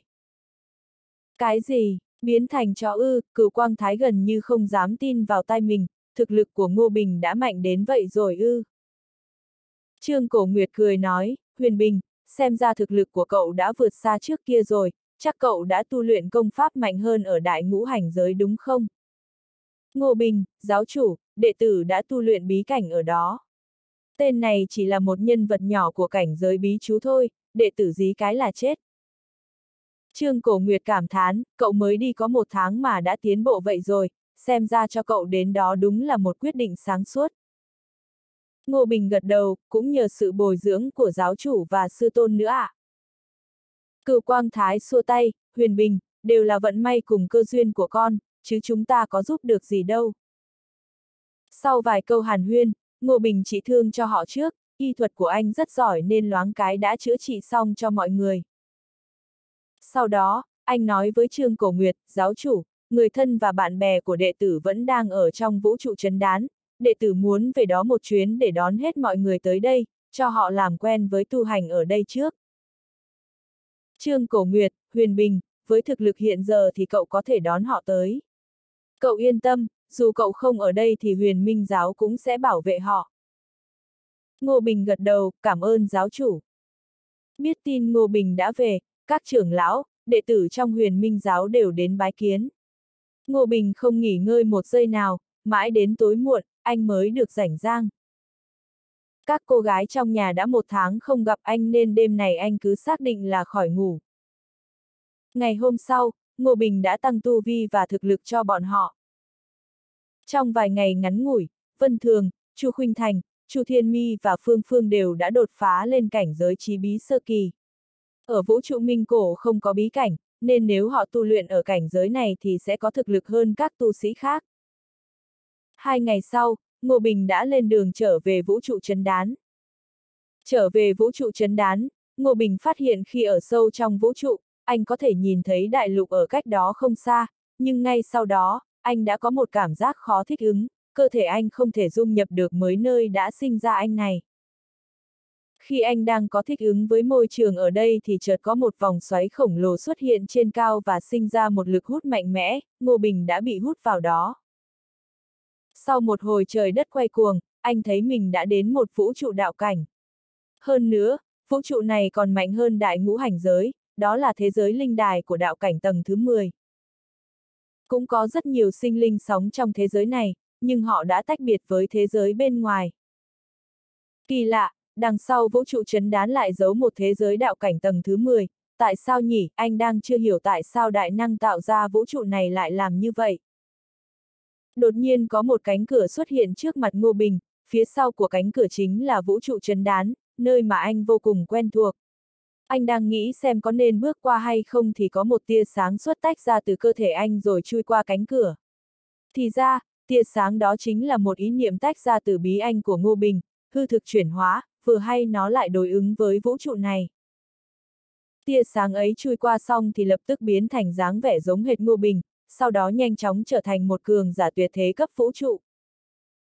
Hóa thân của Ngô Bình về nhà, anh đã xa nhà một thời gian, tương đương với mấy năm ở đây rồi. Đế quốc mà anh ở ngày càng phát triển dưới sự cai trị của Lý Dược Sư, bây giờ nơi đây đã trở thành một thế lực đỉnh cấp. Đường Tử Di, Đào Như Tuyết và Đường Băng Vân đang uống trà ngắm hoa trong vườn thì đột nhiên thấy một người rơi từ trên trời xuống, đó chính là Ngô Bình. Thấy chồng mình về, mấy người phụ nữ đều mừng rỡ. Ngô Bình ôm chầm lấy họ rồi nói, mấy năm qua, các em vất vả rồi. Đường tử di nói, tuy vất vả, nhưng anh đi lâu quá thành ra từ chuyện lớn đến bé, bọn em đều phải tự quyết. Ngô Bình, anh về rồi, mấy năm qua, trong nhà vẫn ổn chứ? Đường băng vân, vẫn ổn, tuy anh không có nhà, nhưng học viện tiên đạo mỗi năm đều bồi dưỡng ra được rất nhiều thiên kiêu, thực lực của họ đều mạnh dần lên, ngoài ra còn nhờ danh tiếng của anh nên cũng không có ai dám bắt nạt bọn em. Ngô Bình gật gù, lần này anh về muốn đưa mọi người rời khỏi đây rồi đến sống ở vũ trụ đạo cảnh. Đường tử di ngạc nhiên, rời khỏi đây ư, vậy còn dân chúng và sự nghiệp của chúng ta thì sao? Ngô Bình, đành kệ thôi chứ sao, anh không thể đưa quá nhiều người đi được. Ai đi cũng phải nâng cao tu vi và xây dựng lại hệ thống tu hành trong người mình trước. Anh ngập ngừng một lát rồi nói tiếp, anh hiện tại chỉ là một hóa thân thôi, các em đến đó xong, nếu tu vi đủ cao thì cũng có thể cử một hóa thân đến đây cai trị giống anh. Loáng cái, cả gia đình đã đoàn tụ. Cùng lúc đó, cơ thể chính của Ngô Bình đang mày mò trong thế giới mới. Đây là vũ trụ đạo cảnh tầng thứ 10, so ra còn mạnh hơn đại ngũ hành giới. Điều khiến Ngô Bình ngạc nhiên là từng cành cây ngọn cỏ ở đây đều là thật. Lúc này, anh đang ở một nơi hoang vu. Ngô Bình phóng thần niệm ra thì thấy cách đây vài trăm dặm có một con đường, trên con đường này đang rất nhộn nhịp. Anh bật tung người lên rồi bay lên cao, không lâu sau đã đến con đường đó. Anh vừa đáp xuống thì có một chiếc xe ngựa khắc huy hiệu ngọn lửa chạy nhanh tới, anh lập tức vẫy tay với người đánh xe. Nhưng người đó lại coi như không không nhìn thấy anh rồi đánh xe lao vụt đi. Xong, đột nhiên trên xe vang lên một giọng nói của nữ giới, dừng lại. Người đánh xe kéo dây cương, điều khiển con ngựa dừng lại gần Ngô Bình. Anh chắp tay nói, xin hỏi có thể cho tôi đi nhờ được không? Cô gái xinh đẹp khoảng hơn 20 tuổi ngồi trên xe tỏ vẻ ngạc nhiên, vì hầu hết mọi người ở đây nhìn thấy huy hiệu của nhà họ quỷ thì đều tránh không kịp, vậy mà người này dám xin đi nhờ ư. Cùng với cảm giác ngạc nhiên là hiếu kỳ, cô gái nói công tử định đi đâu. Ngô Bình, tại hạ chỉ đi ngang qua đây, không biết phía trước có thành trì hay thị trấn nào không? Cô gái, khoảng 50 dặm về phía trước có thành ngũ quỷ. Nghe thấy thế, Ngô Bình nói, được, vậy xin phiền cô nương. Dứt lời, anh nhảy lên xe ngồi cạnh người đánh xe, cô gái đang ngồi trong khoang nên anh không tiện vào đó. Người đánh xe nhìn Ngô Bình với ánh mắt khét bỏ, sau đó nhích xa ra như thể không muốn ngồi gần anh. Cô gái nói, công tử từ đâu đến? Nghe giọng thì hình như không phải người ở đây. Thế giới này có hệ thống ngôn ngữ riêng, nhờ thu thập được ký ức của vài người đi đường nên Ngô Bình cũng nói được tiếng ở đây, tuy nhiên phát âm vẫn có điểm khác với dân địa phương.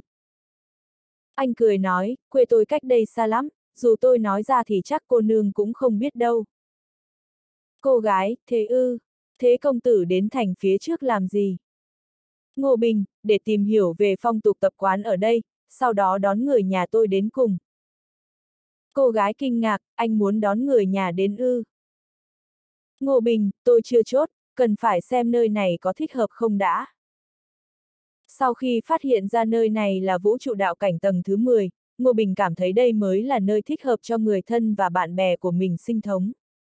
So với đại ngũ hành giới hay vũ trụ minh cổ thì trật tự ở vũ trụ này hoàn chỉnh hơn, ngoài ra từ đây đến vũ trụ chính cũng an toàn hơn. Nhưng trước khi anh đưa ra quyết định thì cần tìm hiểu về hệ vũ trụ này đã. Cô gái trầm mặc một lát rồi nói, ở đây, con người không được phép đi lại lung tung, nhớ bị quan phủ bắt được là sẽ bị chém đầu. Ngô Bình sững người, chém đầu ư. Cô gái, đúng thế, muốn ra bên ngoài thì phải xin lộ dẫn. Lộ dẫn, Ngô Bình chợt nhớ đến có triều minh ở trong lịch sử của trái đất cũng dùng tới thứ này, không có lộ dẫn thì không được tự ý đi đâu hết. Ngô Bình, vũ trụ này có tên là gì? Trên đường anh gặp toàn người bình thường nên họ không biết tên của vũ trụ, nhưng cô gái này có khí chất phi phàm nên anh mới hỏi. Cô gái, xem ra công tử không phải người phàm, không thì đã chẳng hỏi như vậy. Cô ấy nói tiếp, đây là thế giới do Thái ất đạo quân tạo ra, tên là Thái ất tiên giới, một trong 10 đại thế giới trong thiên hạ. Ngô Bình híp mắt lại, đây là tiên giới ư. Cô gái, đúng thế, mọi người ở nhân gian không thể bì được với thân phận của chúng ta đâu. Ngô Bình không ngờ thế giới này chính là tiên giới của vũ trụ chính. Ngô Bình hỏi tiếp, thái ất tiên giới của chúng ta có giống các vũ trụ đạo cảnh khác không? Cô gái, đương nhiên là không, đạo cảng tầng thứ 10 chứng tỏ chúng ta đã lĩnh ngộ được trật tự đại đạo nòng cốt nhất của vũ trụ. Xét về lý thì thái ất là một phần của vũ trụ chính, mọi thứ ở đây đều là thật, trong khi ở các vũ trụ đạo cảnh tầng thứ 9 chỉ có một phần nhỏ là thật thôi, ngoài ra đều là ảo ảnh nên không đáng nhắc tới. Thì ra là vậy, Ngô Bình gật đầu cảm ơn cô. Cô gái, Thái ất đạo quân thuộc Hoàng thất Đại Minh, vì thế tiên giới mà người tạo ra hoàn toàn vận hành theo quy chuẩn của Triều Minh. Ngô Bình, cô nương có biết vũ trụ chấn đán không? Cô gái, không. Ngô Bình không hỏi gì nữa mà tập trung suy nghĩ, sau đó phát hiện trật tự ở đây áp chế anh mạnh mẽ hơn trật tự ở cửu dương cảnh. Cô gái rất có hứng với Ngô Bình nên lại hỏi, công tử không phải người ở Thái ất tiên giới đúng không? Ngô Bình không phủ nhận, mà nói, cô nương cảm nhận được à? Cô gái, tôi thấy khí chất của anh không giống người bình thường. Ngô Bình cười phá lên, quá khen. Họ nói chuyện một lát thì đã đến một thành trì. Cửa thành đóng chặt, cho người ta một cảm giác âm u, trong thành còn có tiếng ma kêu quỷ khóc, vừa nhìn đã biết không phải thành trì bình thường. Xe ngựa tiếp tục tiến lên, tuy Ngô Bình thấy hơi hãi, nhưng anh là người can đảm nên vẫn không nao núng. Xe ngựa đi qua cổng thành, Ngô Bình mới thấy mọi thứ bên trong vẫn bình thường, hình như cảm giác lúc anh ở bên ngoài không hề tồn tại. Cô gái nói, công tử dũng cảm đấy, người bình thường đến gần thành là sợ lắm không dám vào đâu. Ngô Bình, tại sao bên ngoài thành lại tạo ra dáng vẻ ma khóc quỷ hờn như thế? Cô gái, vì bên ngoài có đại trận ngũ quỷ, mục đích là ngăn cướp vào thành. Gần đây có cướp ư. Ừm, còn nhiều là đằng khác. Tuy quan phủ đã nhiều người cử binh lính đi càn quét, nhưng vẫn chưa diệt sạch được. Vào thành rồi, Ngô Bình phát hiện hoàn cảnh sống ở đây có sự pha trộn giữa đời sống hiện đại và triều minh. Trên đường, anh có thể nhìn thấy máy hơi nước và động cơ xăng, còn có radio, TV. Ngoài ra, vẫn có xe ngựa, các kiến trúc cổ xưa cùng các kiểu quần áo cổ đại. Trên đường có người đi xe đạp, cũng có người cưỡi ngựa. Nhờ cuộc trò chuyện với cô gái nên Ngô Bình mới biết nơi này do Triều Minh hoàn toàn cai trị, người có tu vi cao nhất cũng thuộc hoàng gia. Điểm khác giữa nơi này và đại ngũ hành giới không nhiều, nơi đây cũng chỉ có khoảng vài tỷ dân, ngoài khu dân cư ra thì sẽ có những khu vực dành riêng cho người tu hành. Trật tự ở đây mạnh hơn thế tục của vũ trụ chính, nhóm tử di muốn đến đây sống thì không chỉ tăng tu vi là được. Mình phải nghĩ cách luyện chế ít đan dược để hỗ trợ họ thích ứng với môi trường ở đây, Ngô Bình nghĩ thầm. Cảm ơn cô nương, tôi không làm phiền nữa, nói rồi, Ngô Bình định xuống xe. Lúc này, cửa sổ của xe ngựa mở ra, để lộ gương mặt xinh đẹp của cô gái, cô ấy nói, công tử, phía trước là nhà tôi rồi, nếu công tử không chê thì mời đến ngồi chơi. Ngô Bình thấy cô gái này không phải người bình thường nên muốn thông qua cô ấy để nhanh chóng hiểu được về thế giới này nên cười nói, vậy lại phiền cô nương xem lúc nữa. Cô gái, tôi họ quỷ, tên là quỷ tiểu anh. Ngô Bình chưa nghe thấy ai họ này bao giờ, nhưng vẫn chắp tay nói, chào quỷ cô nương. Họ này nghe lạ thật, nhưng Ngô Bình cũng không còn cách nào khác. Quỷ Tiểu Anh, cứ gọi tôi là Tiểu Anh thôi. Ngô Bình, Tiểu Anh cô nương. Quỷ Tiểu Anh, công tử đừng khách sáo, anh không phải người bình thường, nhà tôi rất hân hạnh được đón tiếp một vị khách quý như anh. Ngô Bình, quá khen rồi. Ngô Bình không từ chối nữa mà cùng quỷ Tiểu Anh đến một đại viện, sau khi vào thì anh thấy bên trong rất rộng, xe ngựa có thể đi lại thoải mái. Cuối cùng, chiếc xe dừng ở một bãi đất trống, phía không xa có một phòng khách, quỷ tiểu anh mời Ngô Bình vào đó rồi sai người làm đi pha trà. Ngô Bình luôn chăm chú quan sát xung quanh, anh thấy người ở đây đều không có tu vi cao, chỉ có một tu sĩ ở cảnh giới luyện khí, còn lại thì đều có thể chất bình thường. Đến quỷ tiểu anh cũng chỉ có tu vi luyện khí sơ kỳ thôi. Một lát sau, có một người đàn ông trung niên đi ra, người này mặc áo màu đen, tóc ngắn, thoạt nhìn trông rất năng động. Ông ấy hỏi, Tiểu Anh, giải quyết xong việc chưa? Quỷ Tiểu Anh, bố, xong rồi ạ. À. Để con giới thiệu, đây là bạn mới của con, công tử Ngô Bình. Người đàn ông biết con gái mình không dễ dẫn bạn về nhà, chứng tỏ là rất coi trọng người này nên đoán anh không phải nhân vật tầm thường. Vì thế, ông ấy khách sáo nói với Ngô Bình, công tử đến chơi mà tôi không đón được từ xa. Ngô Bình đáp lễ, khách sáo rồi, là tôi quấy rầy quý phủ. Nào có, cậu đến đây là vinh hạnh cho gia đình chúng tôi, người đàn ông cười nói, tôi tự giới thiệu, tôi là quỷ hàn băng chủ của nhà họ quỷ. Quỷ tiểu anh cười nói, bố tôi cũng khá có địa vị ở thành này, nếu công tử có gì cần nhờ vả thì cứ nói với bố tôi. Ngô Bình, đúng là tôi có một chuyện muốn hỏi ông quỷ, trong thành ngũ quỷ này có nơi nào bán dược liệu không?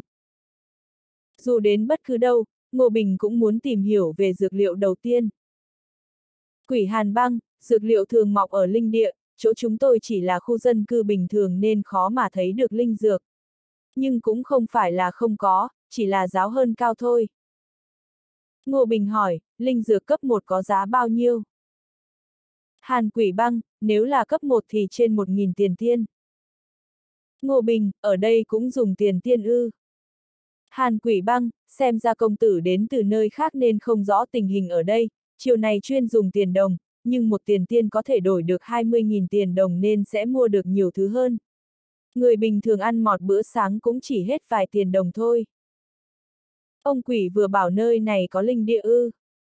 Hàn quỷ băng, đúng, thái ất tiên giới chủ yếu là khu vực bình thường, nhưng cũng có vài khu linh khí, ở đó có nhiều linh khí nên thích hợp cho linh dược phát triển. Ngoài khu linh dược ra, còn có động thiên, phục địa duy độ cao nữa, nhưng các nơi đó thường bị quan phủ hoặc môn phái lớn quản lý, người bình thường không được vào. Động thiên, phúc địa là nơi nào? Là một nơi có linh khí dồi dào hơn, rất thích hợp cho việc tu hành. Vì thế có rất nhiều tu sĩ muốn thuê một nơi ở đó để tu luyện. Ngô Bình, thuê được cả nơi tu hành ư. Đương nhiên, ví dụ tu luyện ở đó một tiếng sẽ mất 3.000 tiền tiên. Ngô Bình tròn mắt ngạc nhiên, gì mà đắt thế? Người tu hành toàn tu luyện vài năm đến vài chục năm, vậy thì sẽ tốn bao nhiêu tiền đây? Hàn quỷ băng, vì thế người bình thường không thể đến đó được, thậm chí có nhiều tu sĩ cũng không thể tu luyện ở đó lâu, hầu hết chỉ được một lát thôi. Ở nơi đó có linh dược không, anh hỏi. Hàn quỷ băng có, nhưng phí hái thuốc ở đó rất cao, đã thế còn giới hạn thời gian. Nhiều lúc, tiêu hết tiền rồi mà chưa hái được cây thuốc nào. Ngô Bình hỏi tiếp, nếu có đủ tiền thì có thể mua một khu vực để sinh sống ở Động Thiên, Phúc Địa không? Quỷ Hàn Băng, được chứ, nhưng giá cao lắm. Tôi nhớ cách đây không lâu có một người nghe bảo giàu lắm, đã mua một mảnh đất trong Động Thiên 7 sao, hình như khoảng một, hai mẫu gì đó nhưng lại chẳng có gì. Cứ thế, phí mất cả đống tiền. Ngô Bình hỏi, tu hành trong động thiên có lợi hơn tu hành ở bên ngoài ư? Quỷ Hàn Băng, đương nhiên, động thiên là một không gian duy độ cao thật sự, hiệu quả khi tu hành ở đó cao hơn bên ngoài gấp 10 lần, hơn nữa nền móng còn rất vững chắc. Ngô Bình, có phải tất cả động thiên, phúc địa đều có người chiếm đóng rồi không? Không, tôi mới kể rồi đấy. Ở thế giới này có rất nhiều khu vực đang chờ khai phá, trong đó có lẽ còn ẩn chứa khá nhiều động thiên mới. Nhưng những nơi vẫn chưa khai hoang ấy vô cùng nguy hiểm, muốn khai phá nó thì khéo phải trả giá bằng tính mạng. Ngô Bình, nguy hiểm mà ông bảo là gì? Nhiều lắm, nào là côn trùng độc, yêu quái, hung thú, sát trận tự nhiên, quỷ hàn băng nói, đương nhiên muốn khai hoang thì cũng phải có thực lực mạnh mới được, không thì dù tìm thấy động thiên thì cũng không giữ được, sớm muộn cũng bị kẻ khác cướp mất. Sau đó, quỷ hàn băng chợt hỏi, lẽ nào ngô công tử định đi tìm động thiên, phúc địa ư? Ngô Bình, kiểu gì tôi cũng sẽ đi xem sao, nhưng trước đó tôi sẽ đến linh địa mà ông kể đã. Quỷ hàn băng, người bình thường không đến đó được đâu, vì phải mua giấy phép từ chỗ quan phủ. Hơn nữa, giấy phép này chỉ có hiệu lực trong 3 tháng, hết hạn thì phải mua giấy mới. Đương nhiên cũng có giấy phép vĩnh viễn, nhưng giá đắt lắm, không phải ai cũng mua được. Ngô Bình, linh địa gần nhất cách đây bao xa? Quỷ Hàn Băng, không xa đâu, hơn 200 dặm thôi. Ngô Bình, ông quỷ, vậy phiền ông dẫn tôi đến chỗ quan phủ để mua một giấy thông hành. Quỷ Hàn Băng cười nói, chuyện nhỏ, tôi sẽ cho người đi làm ngay. Nhưng trước đó, công tử cần có một thân phận bình thường đã. Ngô Bình, tôi ở nơi khác đến thì có làm được không? Công tử yên tâm, tôi có chút quan hệ nên chắc làm được thôi. Ngô Bình, đa tạ. Quỷ Hàn Băng, Ngô Công Tử, tôi thấy thực lực của cậu hơn hẳn chúng tôi, không biết cậu ở tầng thứ mấy của luyện khí rồi. Ngô Bình trả lời thật, tôi là tu sĩ bí cảnh. Quỷ Hàn Băng kinh ngạc rồi hoang man nói, ra là cao thủ bí cảnh, tại hạ thất kính rồi. Ngô Bình, trên đường đến đây, tôi phát hiện hình như thành ngũ quỷ không có nhiều tu sĩ bí cảnh. Quỷ Hàn băng gật đầu, ít lắm, người có tu vi cao nhất ở thành này chỉ ở tầng thứ 9 hay 10 cảnh giới luyện khí thôi, còn cường giả bí cảnh như cậu thì chỉ xuất hiện ở linh địa hoặc động thiên thôi. Quỷ Hàn băng, công tử vừa bảo muốn đi mua linh dược, lẽ nào là thương nhân ư? Ngô Bình cười nói, tôi không bán dược liệu, mà muốn luyện chế ít đan dược. Quỷ hàn băng suýt nữa nhảy dựng lên, cậu là thầy luyện đan ư. Ngô Bình gật đầu, đúng thế, tôi là thầy luyện đan, tại sao ông quỷ là ngạc nhiên như vậy? Quỷ hàn băng hào hứng nói, thầy luyện đan còn hiếm hơn cả tu sĩ thần thông nên đương nhiên tôi phải ngạc nhiên rồi. Quỷ hàn băng, được quen biết công tử đúng là phúc ba đời của tôi. Công tử chờ một lát, tôi sẽ đích thân đi làm giấy thông hành cho công tử. Quỷ hàn băng đi rồi, quỷ tiểu anh mới che miệng cười nói, công tử, thân phận thầy luyện đan của anh làm bộ tôi giật bắn mình đấy. Ngô Bình, tôi thấy nhà cô cũng coi như một hộ giàu có, không biết có thể chuyển đến linh địa sống không? Quỷ tiểu anh lắc đầu, khó lắm, chuyển đến đó sống luôn là ước mơ của bố tôi, tiếc là khó mà thực hiện được. Tại sao? Ngô Bình hỏi. Quỷ tiểu anh, muốn đến đó không chỉ cần tiền, mà phải có thực lực. Không thì đến nơi rồi chỉ chịu cảnh bị bắt nạt thôi, nhà cậu tôi từng đến đó vào hơn chục năm trước, nhưng chưa được ba năm đã phải chạy mất dép. Họ bị người ta bắt nạt à? Quỷ tiểu anh, đúng thế, cậu tôi bị phế, anh họ cũng bị thương nặng. Sản nghiệp mà họ mua ở linh địa cũng bị người ta cướp mất. Ngô Bình, trong thế giới tu hành thì thực lực đứng đầu, nếu thiếu thì không ai trụ vững được, anh đã trải qua quá nhiều chuyện nên cực kỳ hiểu đạo lý cá lớn nuốt cá bé.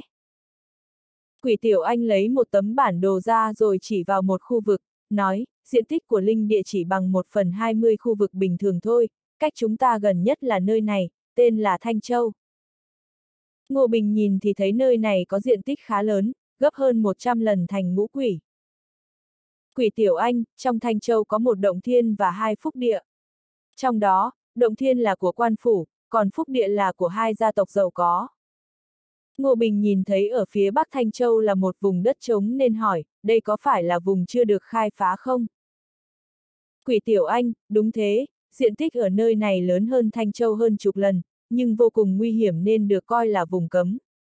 Cả nghìn năm nay không ai dám đến, thi thoảng có người vào thì cũng không trở ra được.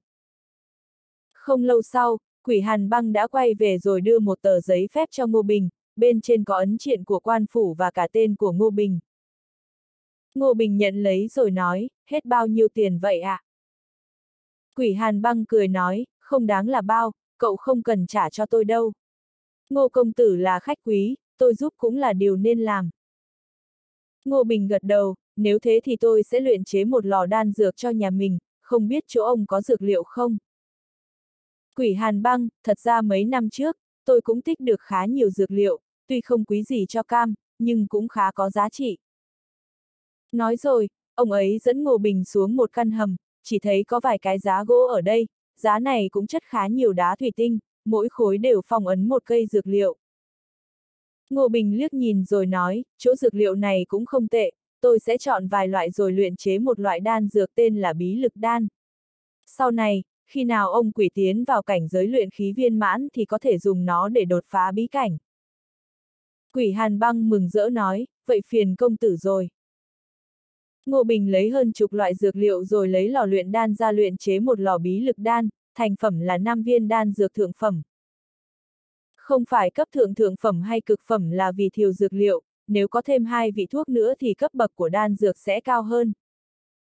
Quỷ Hàn băng nhận lấy đan dược mà kích động đến mức run rẩy, ông ấy biết có chúng rồi thì đời này mình không còn phải lo nghĩ gì nữa, thậm chí có thể thành công chuyển tới linh địa. Công tử, thứ này quý giá quá, ông ấy lẩm bẩm. Ngô Bình, với tôi thì chỉ là việc tiện tay thôi. Quỷ Tiểu Anh cũng hào hứng nói, mời công tử nghỉ lại tạ xá hôm nay, ngày mai tôi sẽ đích thân đưa công tử đến Thanh Châu. Ngô Bình gật đầu, được, cảm ơn. Buổi chiều, nhà họ quỷ đã tiếp đãi Ngô Bình rất nồng nhiệt, sau đó xếp cho anh vào ở một căn nhà yên tĩnh. Một đêm yên ả trôi qua, sáng hôm sau, Ngô Bình đã ngồi trên xe ngựa đến Thanh Châu. Vẫn là người đánh ngựa lúc trước, nhưng lần này Ngô Bình ngồi trong khoang xe, còn quỷ tiểu anh ngồi như cô nha hoàn ở bên cạnh. Trong khoang xe rất rộng rãi và thoải mái, có cả nước ấm và đồ ăn vặt, mệt thì còn nằm nghỉ được luôn. Ngựa chạy rất nhanh, tới chưa là đến rìa của Thanh Châu rồi. Thanh Châu thuộc linh địa nên xung quanh được xây các tường cao, muốn vào đây thì phải đi qua 24 cửa lớn. Xe ngựa tới gần cửa thì quỷ tiểu anh lấy thông hành cho hai người ra, nhưng người đánh xe không có giấy thông hành nên đành phải chờ ở ngoài. Vừa vào Thanh Châu, Ngô Bình đã thấy nơi này có khí thế hơn thành ngũ quỷ nhiều, các cửa hàng bên đường ít cũng phải cao 3 đến 5 tầng, người qua kẻ lại đều ăn mặc sang trọng, dẫu sao không phải ai cũng lấy được giấy thông hành. Ngô Bình ngồi trên xe ngựa rồi ngắm nhìn cửa hàng ở hai bên đường, giờ anh chỉ muốn nhanh chóng tới một cửa hàng thuốc. Cuối cùng họ đã thấy một cửa hàng bán dược liệu ở ngã tư trên con đường phía trước, cửa hàng này rất lớn, mặt tiền rộng hơn chục mét, sâu hơn 30 mét, hơn nữa còn cao 5 tầng. Cửa hàng này có tên là Bách Lý, rất nhiều khác đến mua dược liệu, chắc việc kinh doanh cũng khá khấm. Ngô Bình xuống xe, còn quỷ tiểu anh đi tìm chỗ đỗ xe. Anh không chờ mà đi vào tầng 1 của cửa hàng luôn, ở đây chủ yếu là dược liệu bình thường, không thấy có linh dược, mà người đến tầng này cũng chỉ mua dược liệu bình thường. Hầu hết mọi người không có tiền mua đan dược nên đành mua ít dược liệu bình thường về ăn, sau đó được đến đâu thì được. Ngô Bình đi dạo một vòng thì quỷ tiểu anh cũng bước vào, sau đó cả hai lên tầng 2. Có hai nhân viên bán hàng ở tầng này, thấy Ngô Bình đi lên, một trong số đó tiến tới chào hỏi, công tử, anh muốn mua dược liệu gì ạ? Ngô Bình, dược liệu từ cấp 4 trở lên ở tầng mấy? Người kia sáng mắt lên, Ngô Bình nói vậy thì chứng tỏ anh có thực lực mua được, tiên sinh, ở tầng 4 ạ, mời anh đi lối này. Ngô Bình và Quỷ Tiểu Anh đi theo người đó lên tầng 4, tuy tầng này rất rộng, nhưng lại bày rất ít dược liệu, cách vài mét mới có một kệ hàng. Trên mỗi kệ có một cây dược liệu, có linh dược cấp 4, cũng có cấp 5, cao nhất thì là cấp 6. Ngô Bình tiến lại gần xem giá thì thấy các dược liệu cấp 4 đều trên chục nghìn tiền tiên, cao cấp hơn một chút thì cả trăm nghìn. Anh đã nghĩ ra loại đan dược mình muốn luyện chế rồi, đó là đại duy đan.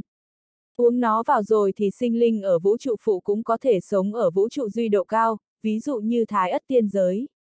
Anh muốn luyện chế đan dược này vì để đưa người thân của mình đến đây định cư. Anh đã chọn hơn 30 loại dược liệu ở tầng này, hết tổng cộng hơn 4 triệu tiền tiên. Thấy Ngô Bình mua nhiều như vậy, người nhân viên bán hàng vui như mở cờ trong bụng, công tử có muốn lên trên xem tiếp không ạ? Ngô Bình hỏi, bên trên là dược liệu gì?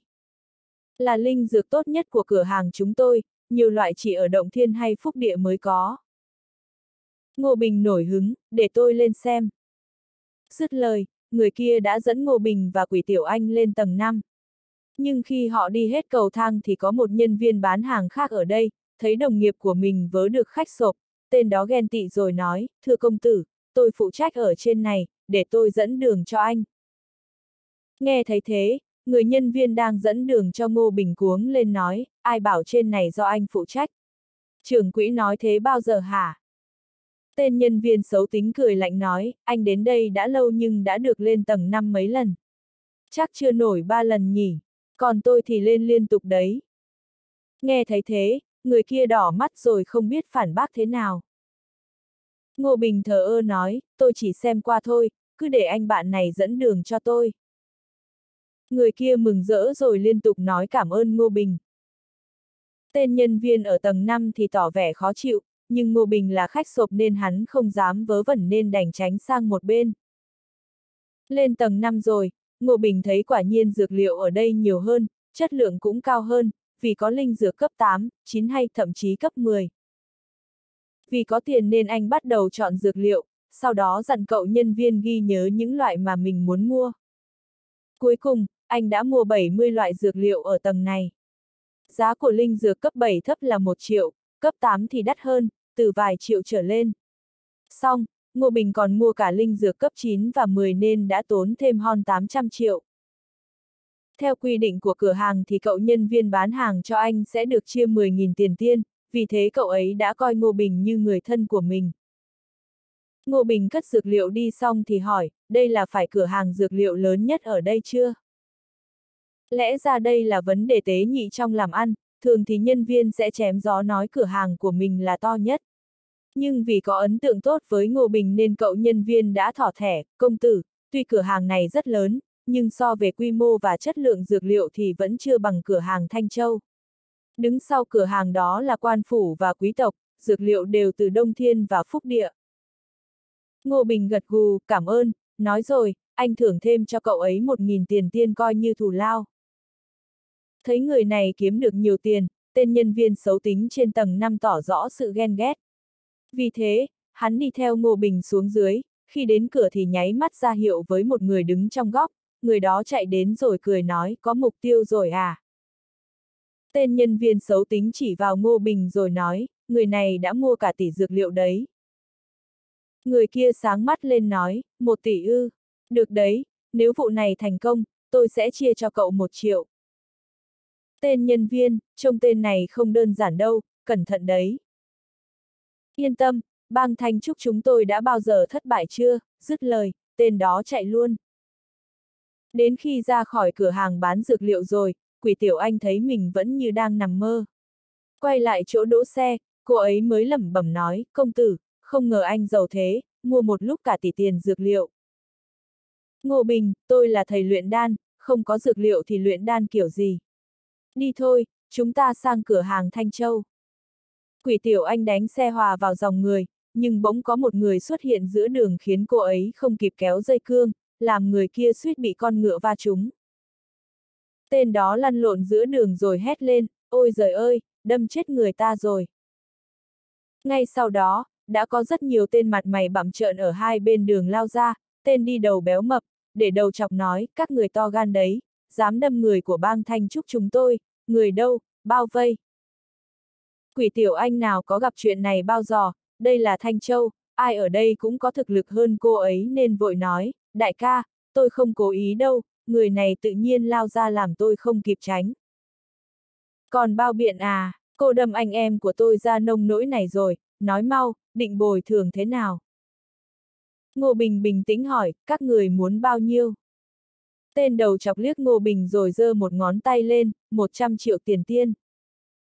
Đây rõ là trò lừa đảo, Ngô Bình bình thản nói, hiện tôi không có nhiều tiền như vậy, có thể bớt chút được không? Tên kia thấy Ngô Bình nhượng bộ nên được nước lấn tới, đúng 100 triệu, không bớt một xu. Ngô Bình, nếu tôi không đưa thì sao? Tên đầu chọc cười nham hiểm nói, không đưa. Thế thì đừng trách tôi là ác, gã vung tay lên, đám đàn em lập tức ùa ra định bắt Ngô Bình. Anh cũng vung tay, bọn chúng lập tức bị đánh bay, ai cũng hộc máu miệng. Tên đầu chọc thấy không ổn nên hỏi, cậu là cao thủ từ đâu tới? Ngô Bình không trả lời, mà lườm gã, sao anh biết trên người tôi có tiền mà đòi tôi những 100 triệu? Tên đầu chọc đảo mắt rồi nói, tôi chỉ nói đại vậy thôi. Ngô Bình, anh nghĩ tôi sẽ tin câu đó à? Dứt lời, anh lập tức thi triển khí thức của cường giả cảnh giới bí thần. Tên đầu chọc sợ đến mức tè ra quần, sau đó quỳ xuống run rẩy nói, công tử tha mạng, tiểu nhân đáng chết.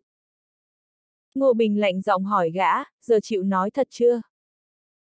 Tên đầu chọc, là một nhân viên của hiệu thuốc bán nãy báo cho chúng tôi biết, xin lỗi công tử. Ngô Bình, tôi là một người rất dễ tính, không ai làm gì tôi thì tôi không cũng gây khó dễ cho họ. Nhưng nếu ai có ý đồ xấu với tôi thì tôi sẽ bắt phải trả giả. Sau đó, anh lại vắt tay lên, một luồng khí cuốn hết những người ở đây trở lại trước hiệu thuốc Bách Lý. Tiếng động lớn đã thu hút sự chú ý của nhiều người ở xung quanh. Ngô Bình đứng cạnh xe ngựa rồi lạnh giọng nói, chủ hiệu thuốc đâu?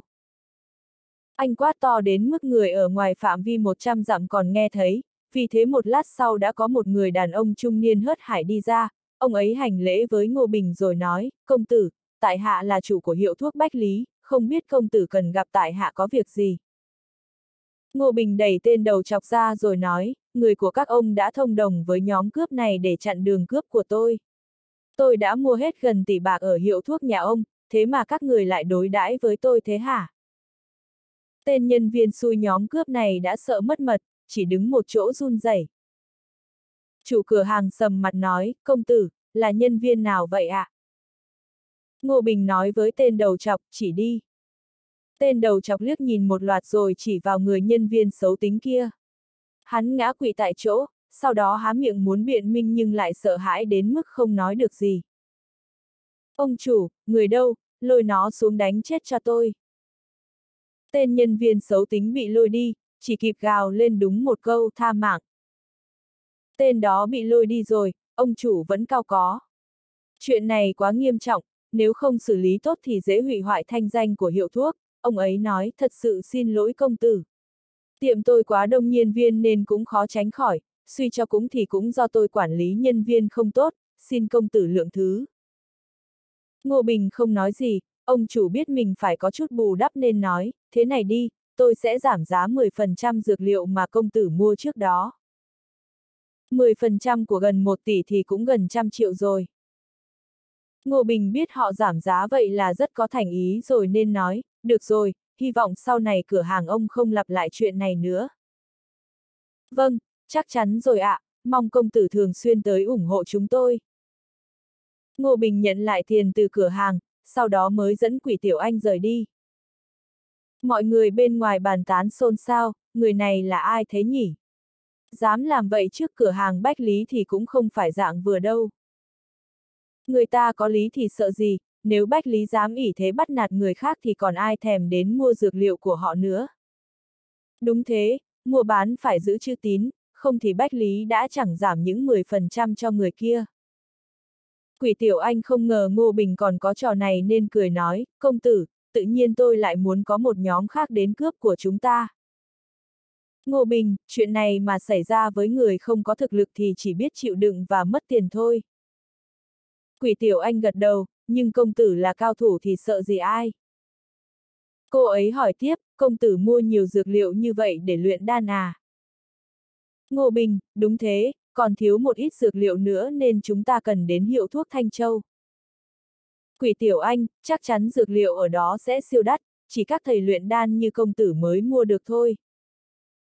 Ngô Bình, tôi không sợ đắt, dược liệu càng đắt thì đan dược luyện chế ra càng có giá trị. Quỷ Tiểu Anh chớp mắt nói, công tử, lát anh còn định đến động thiên phúc địa không? Ngô Bình, có chứ. Quỷ Tiểu Anh, nhưng tôi không thể đi cùng anh tới đó được, khi ấy công tử nhớ cẩn thận nhé. Ngô Bình cười nói, tôi biết rồi.